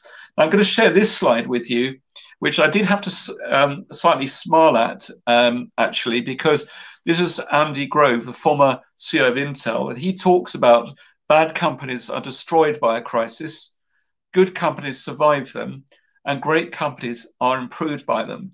Now, the reason I slightly smile at this is, whilst I 100% agree with this quote, um, the interesting thing, of course, is Intel themselves have got their own challenges at the moment. Uh, they are an example of a company, and of course, risk of being sued here, which uh, I think we're too small for them to worry about. But uh, uh I'm not going to um, to knock them in any shape or form because, of course, they've got great products. But the difficulty is they're great products years ago, or even fairly recently, but they are rapidly being overtaken now. So you only need to look at, um, I think it's ARM, if I got this correct. Uh, look at what Apple have done. They've introduced a new range of computers now with a new M1 chip, which is not an Intel chip inside. And um, I won't get into Apple's claims, but let's put it this way I can vouch for the fact that their new M1 chip, because we've personally got one of these now, um, is infinitesimally faster than some of the higher spec machines you can get out there, which are either PCs or even the previous generation of Macs, which are still being sold with Intel processors on them. And Intel is a really interesting example of a company that's perhaps stayed still. They've tried to innovate and create, but in, in reality, they've not been doing it fast enough. So um, they could find themselves actually um, really losing market share over the next 12, 18 months unless they take some radical decisions. So uh, this quote could actually come back and haunt them. But the point I would just say here is that, you know, by innovating, creating, um, we can stay ahead, we can do be different. And um, it's about having a well-oiled sales machine. So um, what I'll do is I'll explain this just a moment. Muriel, have we got some questions that are coming up here? uh, by the way. Is there someone else here that, uh, uh, in fact, interesting, Alan, Alan, are you, you've got a phrase there which you've used, um, uh, Preact. That's cool. I, te- I, I, teach React. Funny enough, I know of a company called Preact. I, I, think he means that he teaches Preact. I think. Uh, yes, it could well be. I'm interested to know the context behind that, uh, but I, I, love that quote. Um, yeah, uh, Thomas, if you're up for coming on air, actually, obviously, uh, uh just put a little bit in the chat because you, if you've got a really good question, um, if you've got uh, a really good uh, question, do put indicate in the chat. I might bring on air. That's Thomas Eccles because he obviously makes some really interesting points. I'd be interested to know a little bit more about you. Um, and equally, if anyone else has got some points they'd like to raise, potential on air, we might be able to bring into to the live stream. Um, so, uh, so I can see some general chat has gone on here as well. Thank you for your feedback about the logo side as well. Um, so yeah, do do that. What we'll do is I'll keep on moving um, with this. If anyone would like to put themselves forward, has got a question they'd like to come in on the live stream from. Um, right. Okay. So Muriel, can you share the link with Thomas then? Yeah, um, I've, I've just dropped him a line. More than happy to. Okay, Thomas, what I'll do is I'll drop you an email now with the link. Yeah. Is that all right? Yes. Okay, so so Thomas, when you come in, when you click that link, just make sure your YouTube or Facebook uh, video stream that you mute the audio. Okay, but open up another tab. You don't need to close the tab down. Open up another tab. Click on the link. We'll see you come in the green room, and then we'll invite you in, as it were. So think of that question, um, and uh, we'll perhaps go from there. Okay, so let's uh, keep moving for the moment. So now with this um, particular slide. Um, this is a, an example of how you can have a well-oiled uh, sales machine. So uh, the first part really is to do about making sure profile is optimized the right way, that you're, you, you've determined who your ideal clients are, and you can uh, basically narrow it down, a bit like Paul did earlier on. He talked about millions of people being in his sector, and narrowed down to 250 as part of the first phase. Okay, Now that involves a little bit of time, but the great thing is because Paul's uh, taken the right approach, uh, he's made sure he's going to only be reaching people who are in his, his market niche. Then, of course, you can use something like what we class as BizGrowth Time Machine, which enables you to plug in this uh, three, five, seven step message process, whatever you want to do within it, and it will do the heavy lifting for you. And I'll explain that a little bit more a bit later on. And the good thing is with that, if you can get people warmed up so they're actually asking to have those conversations, then you'll be able to ultimately close more business. So this first part, we recommend either you personally or, a, or it could be a really good VA or purchase assistant helps you with the selection part of it. We'll we can show you what to do so you do that in the right way. The second part is where we recommend using technology, albeit with you being in control, and also with you using human intervention where appropriate to take over those conversations. So um, everything is always done in an appropriate way. And then as people start to engage once more, to have more of a conversation, they drop into the sales optimization process that is where, again, your skills or the skill of your business development managers um, will be able to then close those opportunities down. So um, we've already talked about Michael Romney a bit earlier on. A few, quick, few other quick case studies. Um, Lorna Leonard is the interim financial director, uh, a real introvert. She um, is one of these people who is brilliant at her job, um, but uh, speaking to clients, she will do very well in a very professional way, but she's not very comfortable doing it. But she was using the methodology we trained her with here because people were actually asking to have conversations. She managed to pick up a 30k client in the first 10 days of working with us. I wouldn't say that's normally quite as fast as that, but it does happen. Uh, Susanna Schofield done a lot of work with her. her. She's uh, got an OBE for a service to Queen and Country. Um, and we've already talked about PayPal Giving. We do a lot of work with helping them to enrich their charity uh, databases.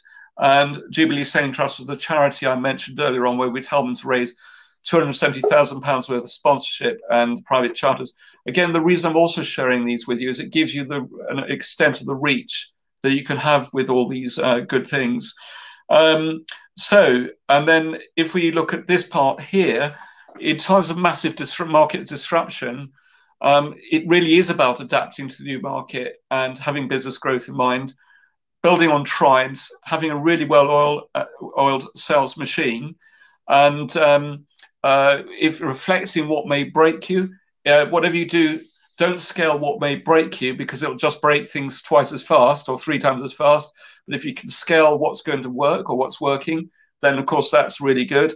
And then look at what you can do once and use technology uh, to dramatically increase your reach and sales.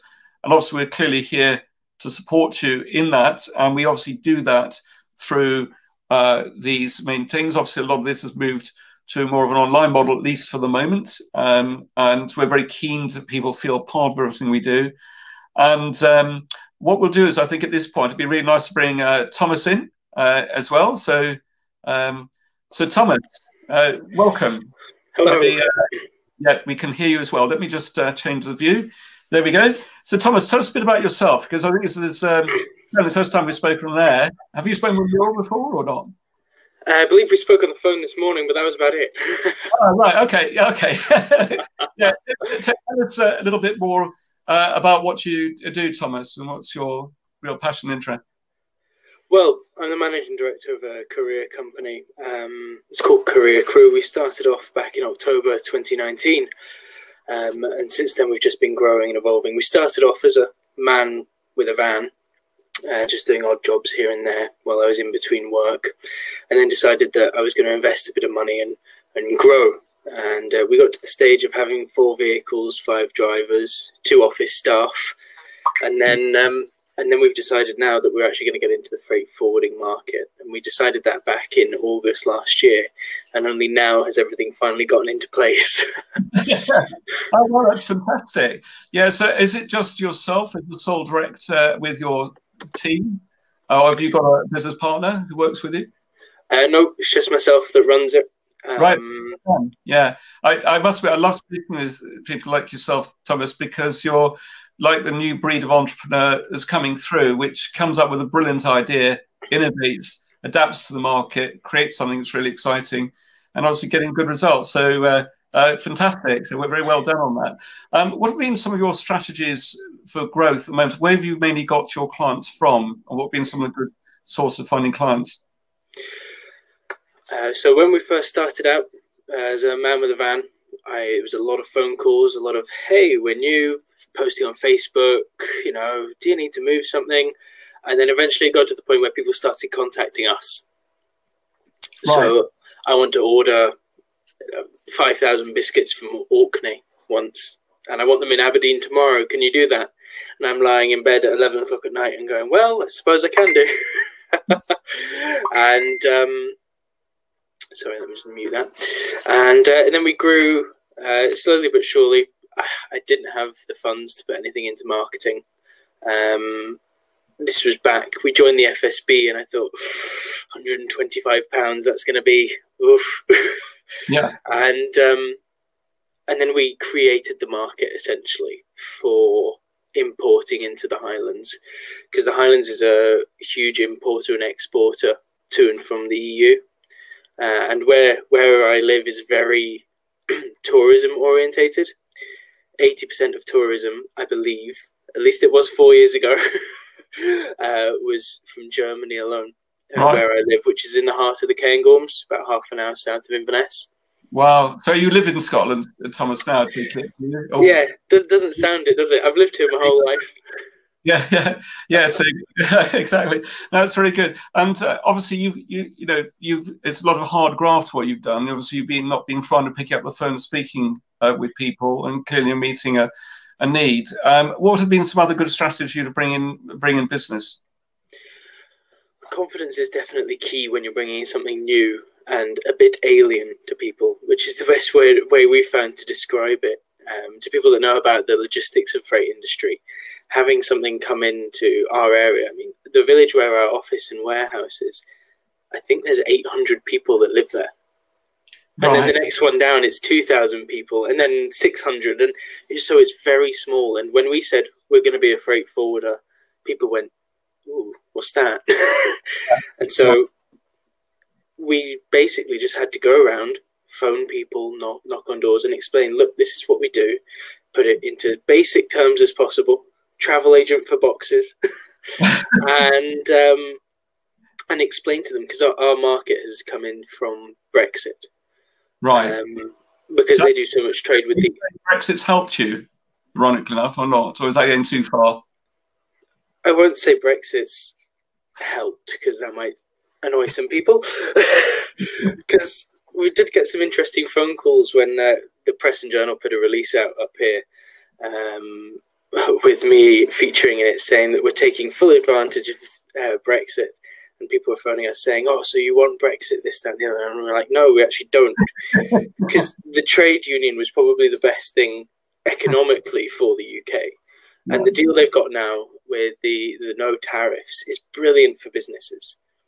Right. Because uh, when the freight comes in, it there's no tariffs needing to be paid on it, so your duty. So it hasn't gone to the worst case scenario of World yeah. Trade Organization rules. But creating the market was relatively simple for us. It was the work. The hardest part about it was getting the point across that people needed to prepare. Right. And 80 percent of the people we spoke to did nothing. Right. And now they're phoning up in panic. no, uh, very well done for positioning yourself in that way as well. And I think it does bear out the point, as Mickey bit earlier on, that uh, yes, we're in the middle of a the dreaded P word, as it were. Uh, but the other side of it is the fact that one major uncertainty at least has gone. You know, whether whether someone is for uh, Brexit, uh, leaving, or or against, that at least one major uncertainty is gone. So that we can forget about that now. We can concentrate yeah. uh, allegedly, of course, we don't know what paperwork is going to be involved, and you know, probably things that blow up in our face later on. But the bottom line is that the big part, the big one of the two two big elephants has gone. The, the other one, of course, is the big C word or pandemic. um, at least the good thing is that you're a really good example of where you've been able to take advantage of the market in a positive way you've been able to create something which is very much of this time. And uh, no, very well done on that, Thomas. I'm, re- I'm very pleased uh, for you. So very much keep in touch, and obviously fill in that question at the end as well because I'd love to have a conversation with you. So Thomas, Yeah. Could, could I ask something? It's, it's quite personal, and I know Rupert is far too polite. Can I ask? How old am I? Yes. I am 18. You're joking. Well, Well- well done, you. Absolutely fantastic. Yeah, I, I I'll think be Tom, 19 in January. well, we are in January now. Yeah. I, I think Tom for being uh, uh, first of all, I think we should give you a twenty pound Amazon voucher off, off the back for that one. Oh, yeah, so I think it's amazing as achievements as well. So Yeah. yeah, not taking away from Paul Raymond here, but uh, you know you've, you've been able to achieve a lot. So well done. Well, Um, nothing's nothing's impossible if you put your mind to it. yeah, Yeah. Absolutely. Yeah, well, you're, you're, you're unfortunately you'll be paying for everything that we're going through now for years to come. You're the, the next generation. Good luck with that one. um, yeah, no, exactly. So, Thomas, if it's okay, I'll return you back to the stream again. You know how to uh, go back Yeah, again. that's fine. don't you? All right. So, thank you very much, Thomas. Uh, Thank you very much. Cheers, thank you. Right. Um, as I say, thank you um, for that, and also for Paul and Raymond earlier on. If anyone else would like to put themselves forward um, as well. Um, so, uh, for example, Alan, you've been making a few comments here um, as well, and uh, yeah, so do do do do, engage. Uh, put something in the chat if you want to join us. We can perhaps bring you in in a minute. Um, but anyway, let's uh, carry on for the moment, and um, we're actually doing very well for time. I'm pleased to say. So uh, we're, we're definitely running to time, if not ahead of time. Um, so right, here we go. So we've already we covered this part already. So moving a little bit on from here, we've already talked as well about um, the opportunities you can create for yourself as well, and um, and we've already talked about this as well. It is really about being vital. It's absolutely vital you're able to leverage what you do and rise above the noise. And uh, and basically, it is about either investing your time or investing money or both. And um, uh, what we've already talked about is everything you do in terms of elevating your brand, bring your sales forward, and leveraging technology to give your time back. Uh, we personally got a great, um, uh, a great, uh, you know, uh, we desire to make a difference, and um, it, it really is about doing these things. And what we're very keen to do is to work with you to show you how, using the right methodologies and systems, you can achieve great results. And um, so, and we've already explained the importance of being able to do the job once uh, and to create the content, repurpose it, and amplify it many times, and how you can plug into a solution in a box if you want to do so, um, and uh, what you'd like to put in place to leverage the entire marketing sales uh, process. Um, now, your foundations, we've touched a, bit, a little bit on this earlier on about your markets and marketing mix to make sure you've got it right in your products and products portfolio. It is also important to make sure you've got your social selling uh, blueprints right. Um, so, in terms of some of what we have to offer, in terms of their packages, and I'm, obviously today's about sharing massive amounts of value. So, while I will touch on this for perhaps three or four minutes, um, it is about making sure you get what you want out of today. But I will just explain briefly the top um, red orange circle where we talk about biz growth easy start that is the part where if you want help on optimizing your linkedin profile understanding the correct the best five message process um, how best to uh, what strategy you can put in place to make sure that you bring a really strong lead flow of opportunities coming through and also you can be part of a, a rolling program over the next 13 weeks um, where we help you on the branding, the product side, and the marketing side to get that right. The BizGrowth Easy Start is a really good place uh, to begin with.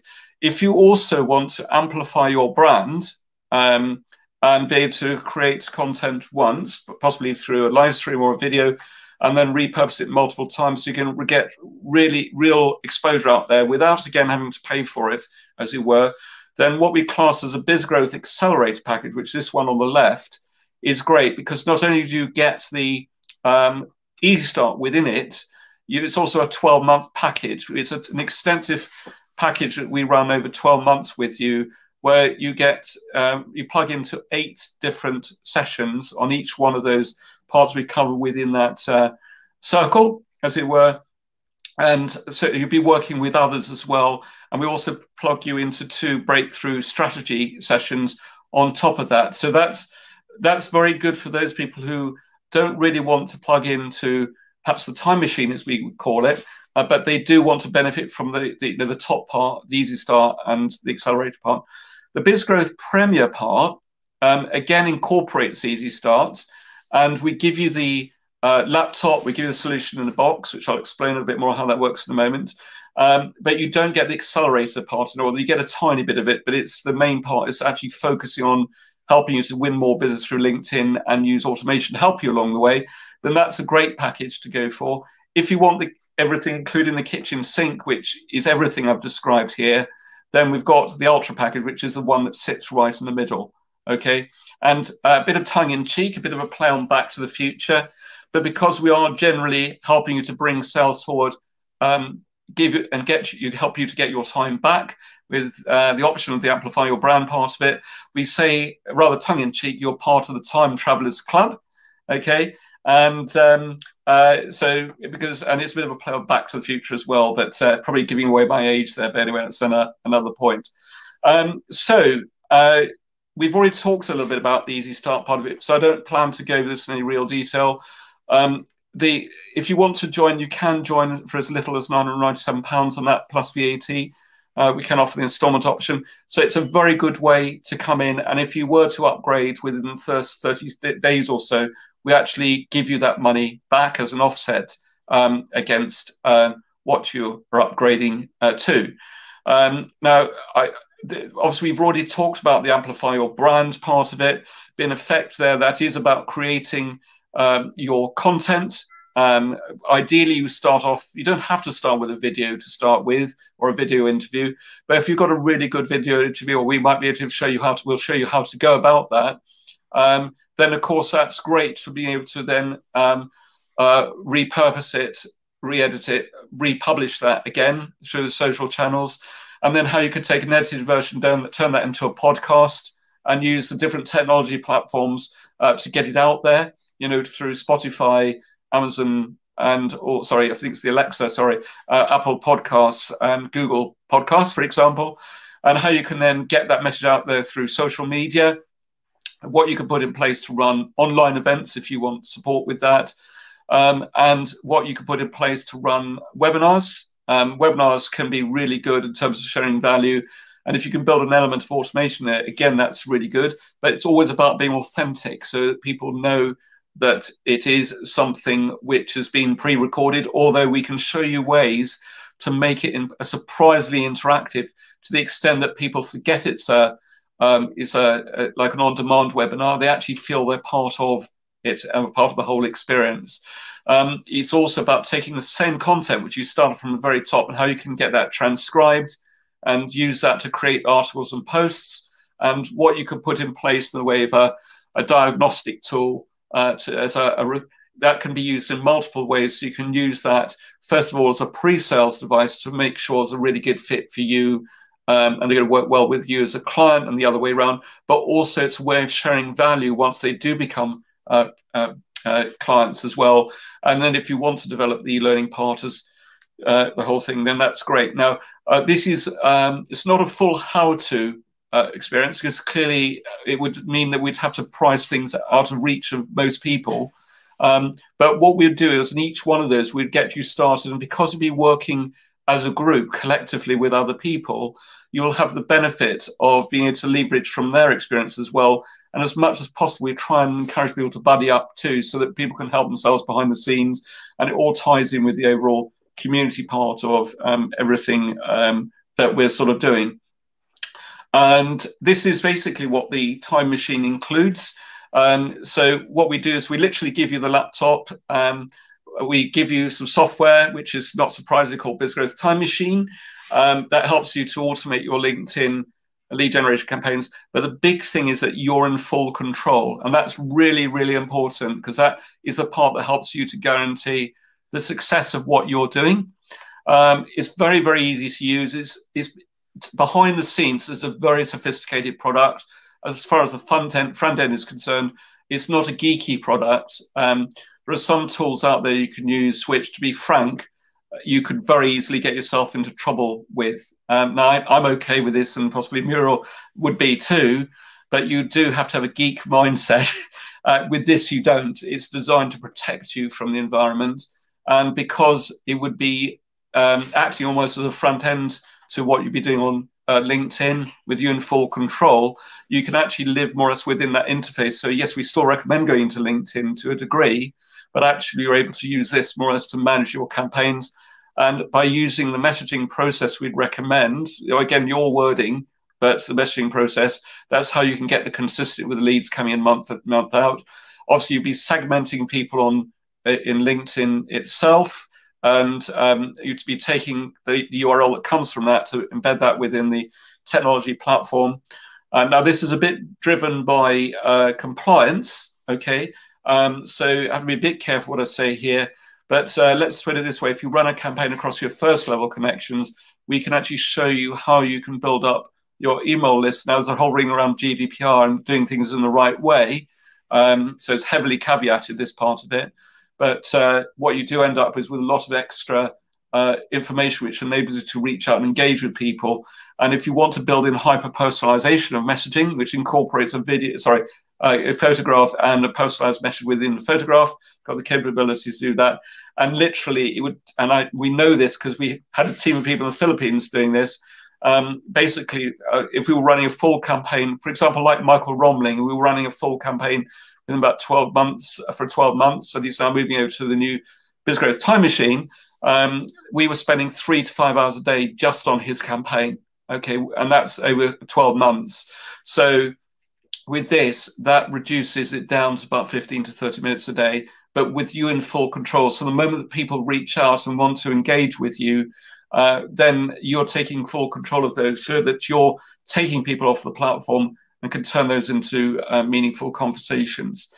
Um, so, and the Ultra package, um, I'm not going to go into too much detail about this because I've illustrated in general terms here, but that this literally includes um, everything that's in all the packages, which includes the BizGrowth Time Machine. It also includes the whole expand your brand part of it. Um, what we're doing on this, um, and this came from our focus group in December, uh, because we've got a number of people already um, on our BizGrowth Ultra package. Okay, is what we decided to do um, is for those new clients coming on board is uh, effectively you would be paying for a year, but would give you actually six months uh, free on top. Now, the reason we're doing this is um, because it's a very it's all like an all-encompassing program. We want people to get a, a, fast return investment. So we'll focus on the parts for you with you, which are going to give you your fastest return investment. And typically that's around the LinkedIn piece, around the Biz Growth time machine, and the expand your brand part of it or amplify your brand part of it is a nice thing that fits around that. But because we don't want people to feel rushed with it, we're actually giving new clients the opportunity to come in uh, based on the fact that uh, they, they've got 18 months to do what is really a 12 month program. Okay, and that means that rather than you feeling you've got to rush anything you're doing, you're able to get the maximum value that you can over that period. Um, so, um, and uh, so that's obviously as part of the special terms that come on. So, as a quick um, recap, and again, if anyone's got any questions they'd like to ask, please do ask away. And I say we are running well to time, so in fact we'll probably run finish a bit early. Um, this is what we've covered, help you to bring your sales forward, amplify your brand uh, for growth, leverage technology. Uh, we talked about your marketing marketing mix, um, how to maximize sales through LinkedIn. And um, what I'm going to do is uh, give you a very quick demo. I'm not going to give you a physical demo of the platform because again, I want to make sure we stick to time, but I've got a few uh, slides for you just to make it easier. I'd like to give you an opportunity to complete the diagnostic as well. Um, we've got uh, another uh, competition associated to that. So a quick, a few quick screen grabs. Um, as you can see here, um, this is the BizGrowth Time Machine. This is at the front here gives you some really good stats on how well your campaign is actually doing.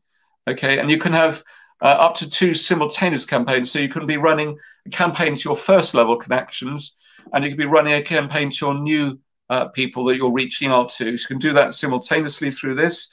Um, and uh, moving on from that, um, this screen here, where you've got these like uh, cyan colored uh, dots or lines, each one of these symbolizes a message. So this person's three three messages into the process. This one is four. That one's five.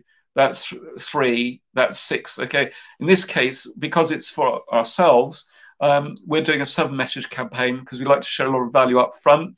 Um, okay, but that's down to you. The good thing is because once you set this up to run a campaign over four messages or seven or five, it doesn't once it's set up, you really, it doesn't really take any more effort. That's the nice thing with using this technology.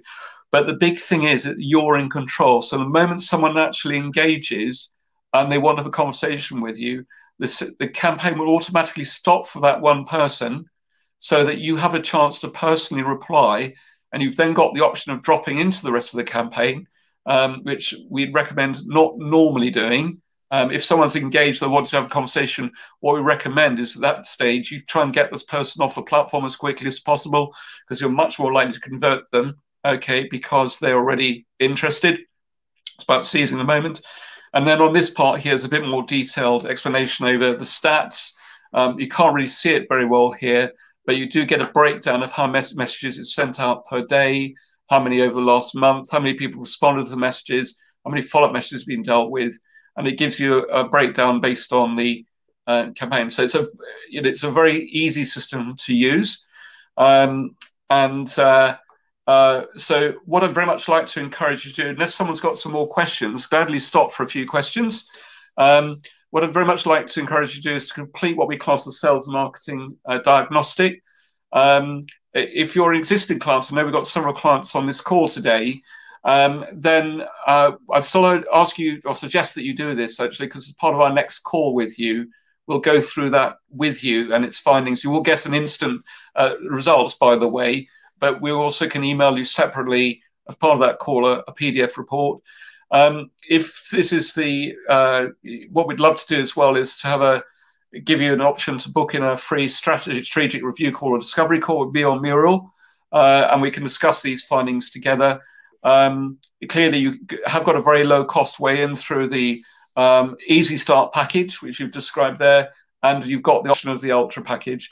So, um, and then we've, as part of this diagnostic, uh, what we will do is um, we're, we're, going to give away uh, three Amazon vouchers. Okay, there's going to be a £50 Amazon voucher for the um, prize winner and two runner ups of £20 each.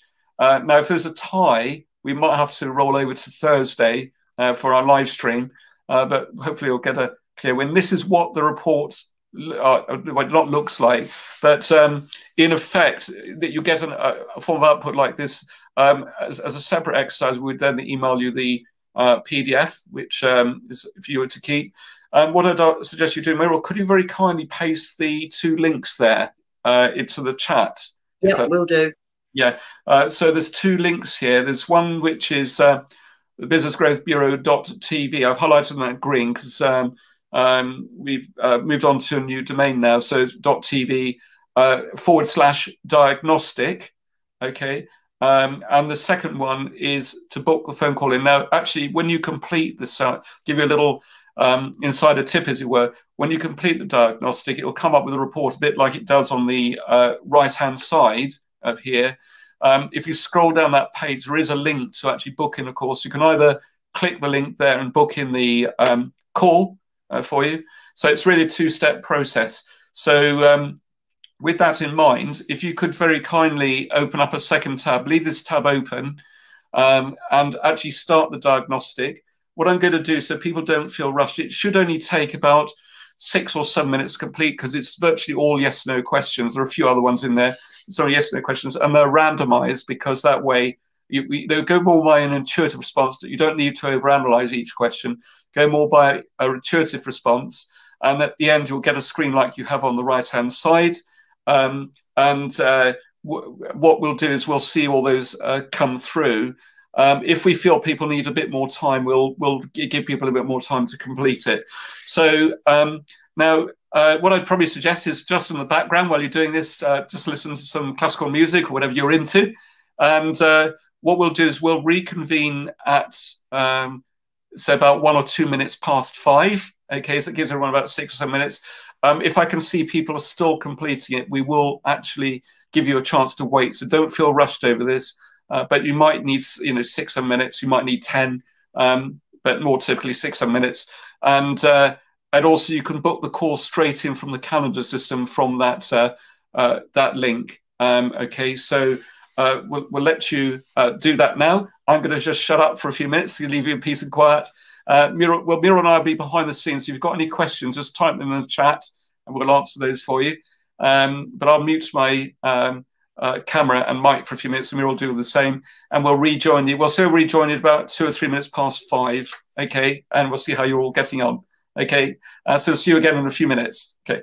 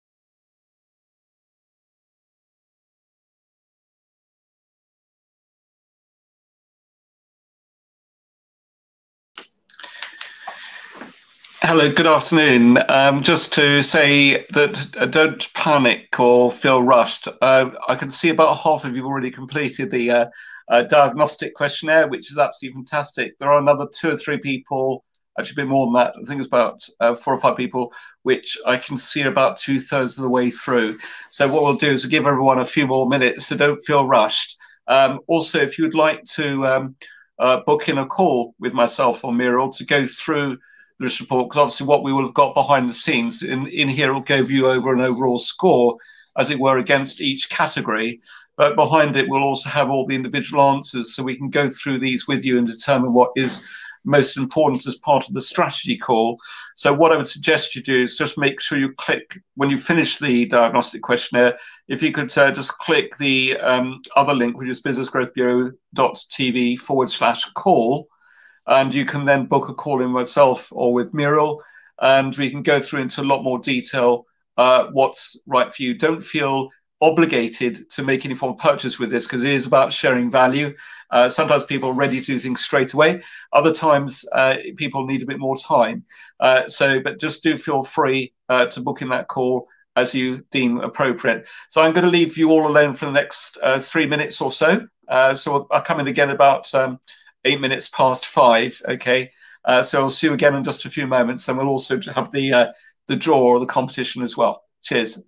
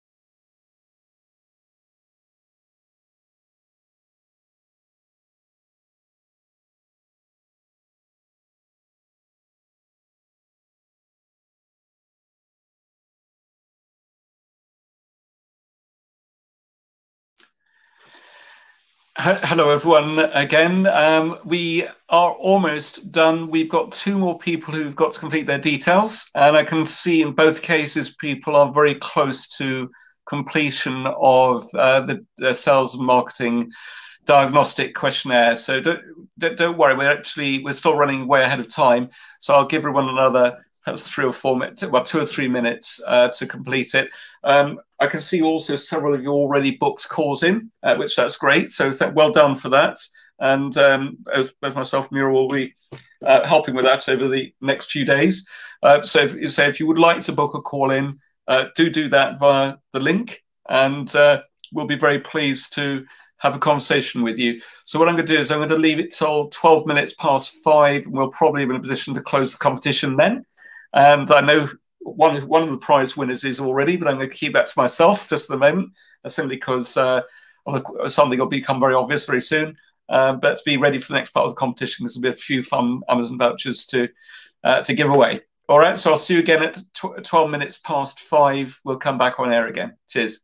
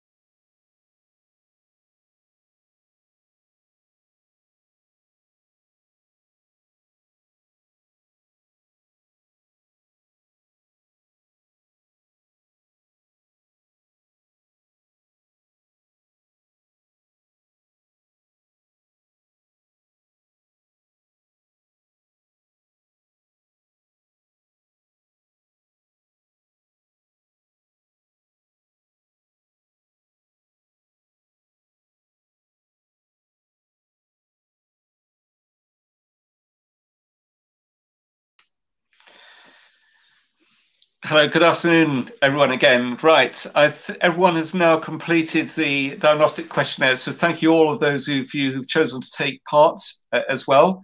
Uh, it's been quite exciting this because I've been watching behind the scenes what you um, as a, as the people complete the results. I don't know the individual breakdown of the scores uh, yet, but I do know um, a few other things which we'll share with you. Um, so that's really appreciated. And um, what I'd like to do as part of the competition, we need to be ready to make some notes here so we follow through. Um, but um, I'm going to announce an immediate uh, prize winner. Uh, this is for the tw £20 um, Amazon voucher. And then I'm going to announce two slightly more difficult ones to answer. Still pretty easy as part of the competition. So, um, but so bear me a second. Let me just uh, make sure I've got all my facts right because I don't want to get things wrong here because uh, there's a lot to this.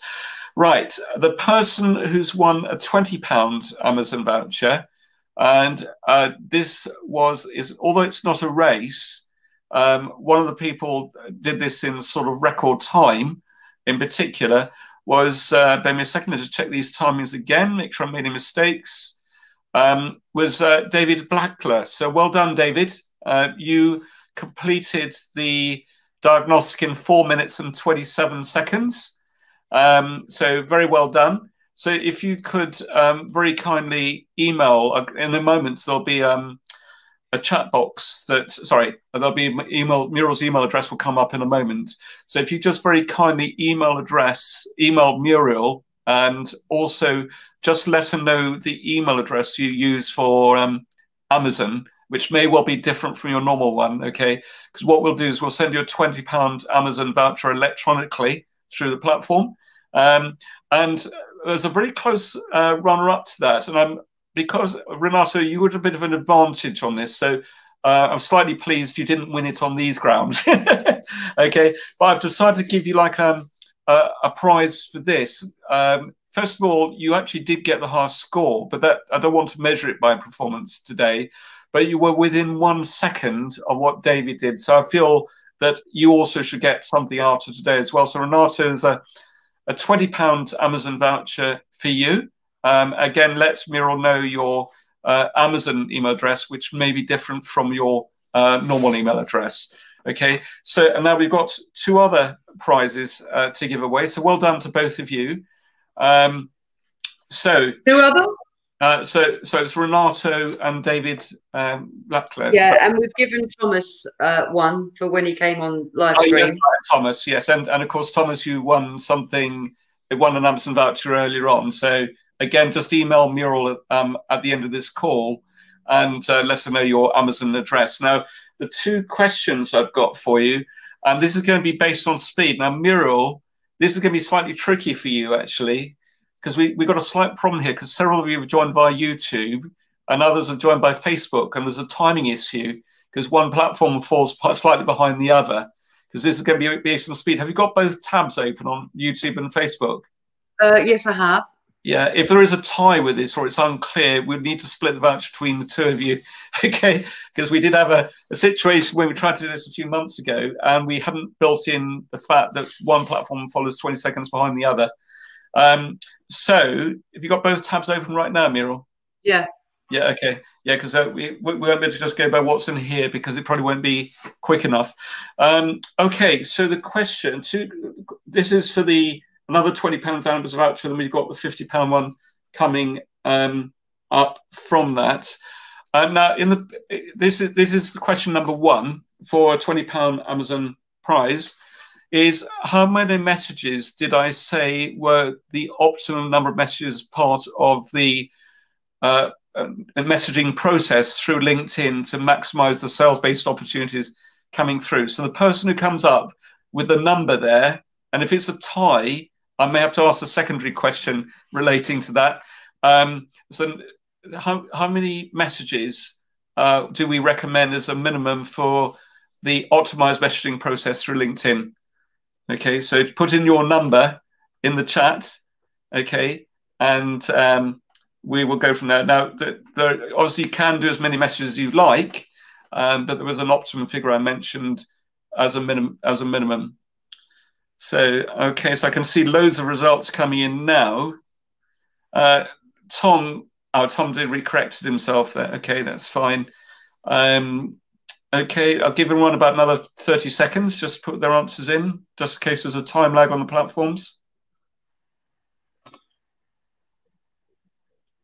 oh, I, lo I, love it. So a bit of friendly competition here. okay. Um, so Miro, give it another 15 seconds see whether we can narrow this down. wow. Okay. Um, Right. The answer to this question is five. Uh, I did say that if you want to do a six or seven message process, that's even better. But there's a, an optimum number as a minimum we'd recommend is actually five. Okay. Now the Miro, can you just check with Alan Lavender and um, in particular what time he came in against uh, anyone else? It doesn't actually give a time, Rupert. Right. Uh, it doesn't give a time, but um, looking at the way the answer came through here, it was well in advance of Tom's. Yeah, okay. It's a clear winner here, I think, Alan. I'm pleased to say you actually won the £20 Amazon voucher, so very well done on this. Um, Tom, you had two guesses there. I'm not quite sure if she would allow that anyway. Uh, but uh, in any event, uh, well done, Alan. You were the clear winner. There is, as I say, a bit of a time lag between the platforms. That's why I had to do like a double check.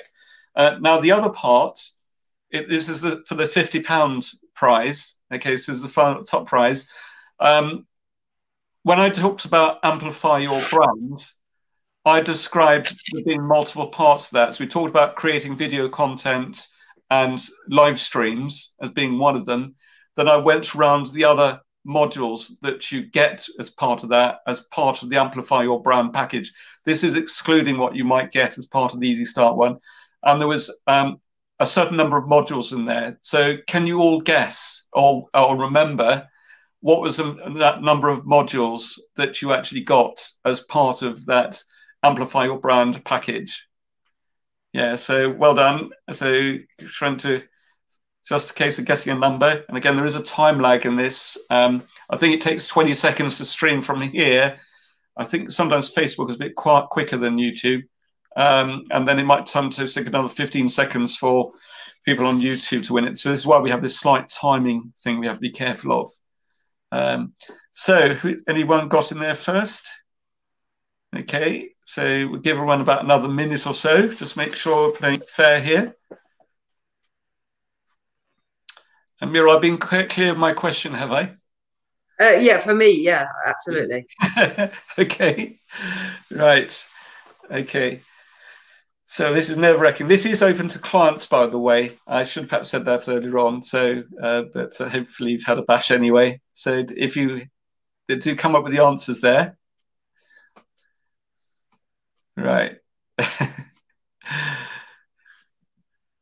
okay, so give another 30 seconds for everyone to respond. Okay. Um, actually, no one at the moment has got the answer right. So, so, the first person to get the correct answer, again, got to allow for the time lag in the here, then let's give um, everyone another chance to get the correct answer. Okay, so who's going to come in with the correct answer first? This is nerve wracking. I'm nervous for you.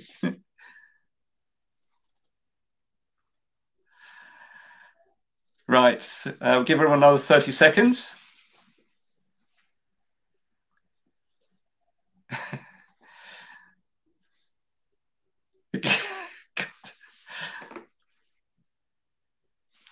right.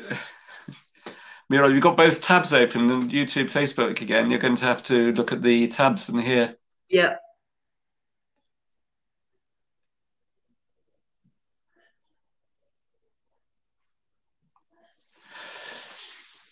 Uh, right. Oh God, how are we going to work this out? Muriel, if I said to you the answer was eight, which is the correct answer, um, is a toss up between Tom Brown and Alan again. Okay, I, I would say Tom because I had both tabs open and Tom definitely typed it in before Alan did. I'm afraid. Yeah. So this is not look looking at um, uh, the streaming platform. It's literally looking in the social channels itself. Is it? It's actually looking at Facebook and and um, YouTube. Yeah. Tom, Tom, you, by a wing and a prayer, you got that one. so, so, so well done. Okay, so that's a fifty pound uh, Amazon voucher for you. So just email uh, Muriel um, after this session today uh, with the correct. Make sure you give us the correct email address because we don't want to put it in someone else's account. Okay. Um, so well done on that. Um, Alan, very close there. In fact, on my stream here, it looks you were ahead of um, Tom by about a second. But then we do know there's a delay. So this is why I had to ask Muriel to what keep an eye on both streams.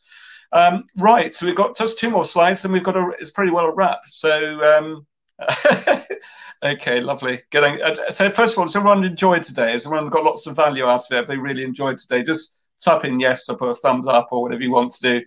It's always nice to have uh, feedback from you guys. Um, uh, two more slides and it's a, a, wrap. So we have finished a bit ahead of time. Um, so this Thursday, um, we just for those of you who are not regulars of this, um, every Thursday we want to run a live stream, which uh, we start at five minutes earlier, but five o'clock GMT. Okay, and um, it's a weekly live stream. It's about sharing value. Um, and this week we're interviewing uh, Ian Randall, and he's going to be talking about suffering with overwhelm. Make 2021 your year uh, for growth. Okay, that's quite a challenge because obviously I know last year his business was affected to a degree, but he's he was able to um, to pivot a little bit with part of his business, and uh, that works very well for him. So it should be a really interesting interview. Uh, now next week uh, is actually a double session because once a month we have a double session. So we have the normal weekly live stream, and um, but next week it's preceded by a networking collaboration event. It's on a different platform okay and it's uh, those of you who are familiar with um, uh, Remo for example it creates almost like a virtual table experience um, so it's a, a, good fun experience um, we'd recommend coming at 3.45 you it officially doesn't start for another 15 minutes. But what we're finding is a lot of people actually really like the networking collaboration part the very early part. So we used to start this at four we started 15 minutes earlier. And then what will happen is we will break people down into individual virtual tables and we'll debate a particular point which will revolve around the topic of how to simulate business growth as an entrepreneur. And that will be the follow-on session as part of the live stream. So at 3.45, there's networking collaboration session. It'll be a chance to network. You will then workshop as part of a little bit of some groups in terms of some questions, typically two or three questions are then fed into the live stream, which starts at five o'clock. So we recommend you taking part in both if you can. And the way you actually get to that, again, very easily, is if you go to the businessgrowthbureau.tv uh, website, then choose the events drop down and look for live streams. Um, and you'll be able to book there. Now, this week, time around, it'll actually show only tomorrow's but obviously once uh, not tomorrow's because it's Tuesday. Um, on on Thursday we'll update it, uh, but you can actually book. But uh, you can also book as a recurring event, so you can book like um, one session. Uh, sorry, you can or, or, equally you can choose the re- the uh, recurring option. It allows you to book multiple weeks. Um, now, all of those of you, I'll just remind you as well, because obviously of Christmas in between, we had to, uh, we didn't run the sessions on Christmas Eve and New Year's Eve as you'd expect uh, you may need to find you need to recreate your booking again. But uh, uh, anyway, so do register that if you would like to do so. And uh, uh, finally, in passing, if you would like to message myself or Muriel after today, these are our contact details. Um, there are my phones, my phone number and Muriel's number, and that's our we use the .com domain for at the moment for our email address, which is in the process of migrating our email accounts. Um, so Rupert at businessgrowthbureau.com or Muriel uh, businessgrowthbureau.com. And uh, for bookings or anything on the website, just choose the businessgrowthbureau.tv. Okay. Uh, we have got a slight minor problem in the short term because um, we only made this migration over last weekend. We got a slight problem with the security certificate. Um, so if you do go to the .com website by mistake, you may get a Google warning temporarily.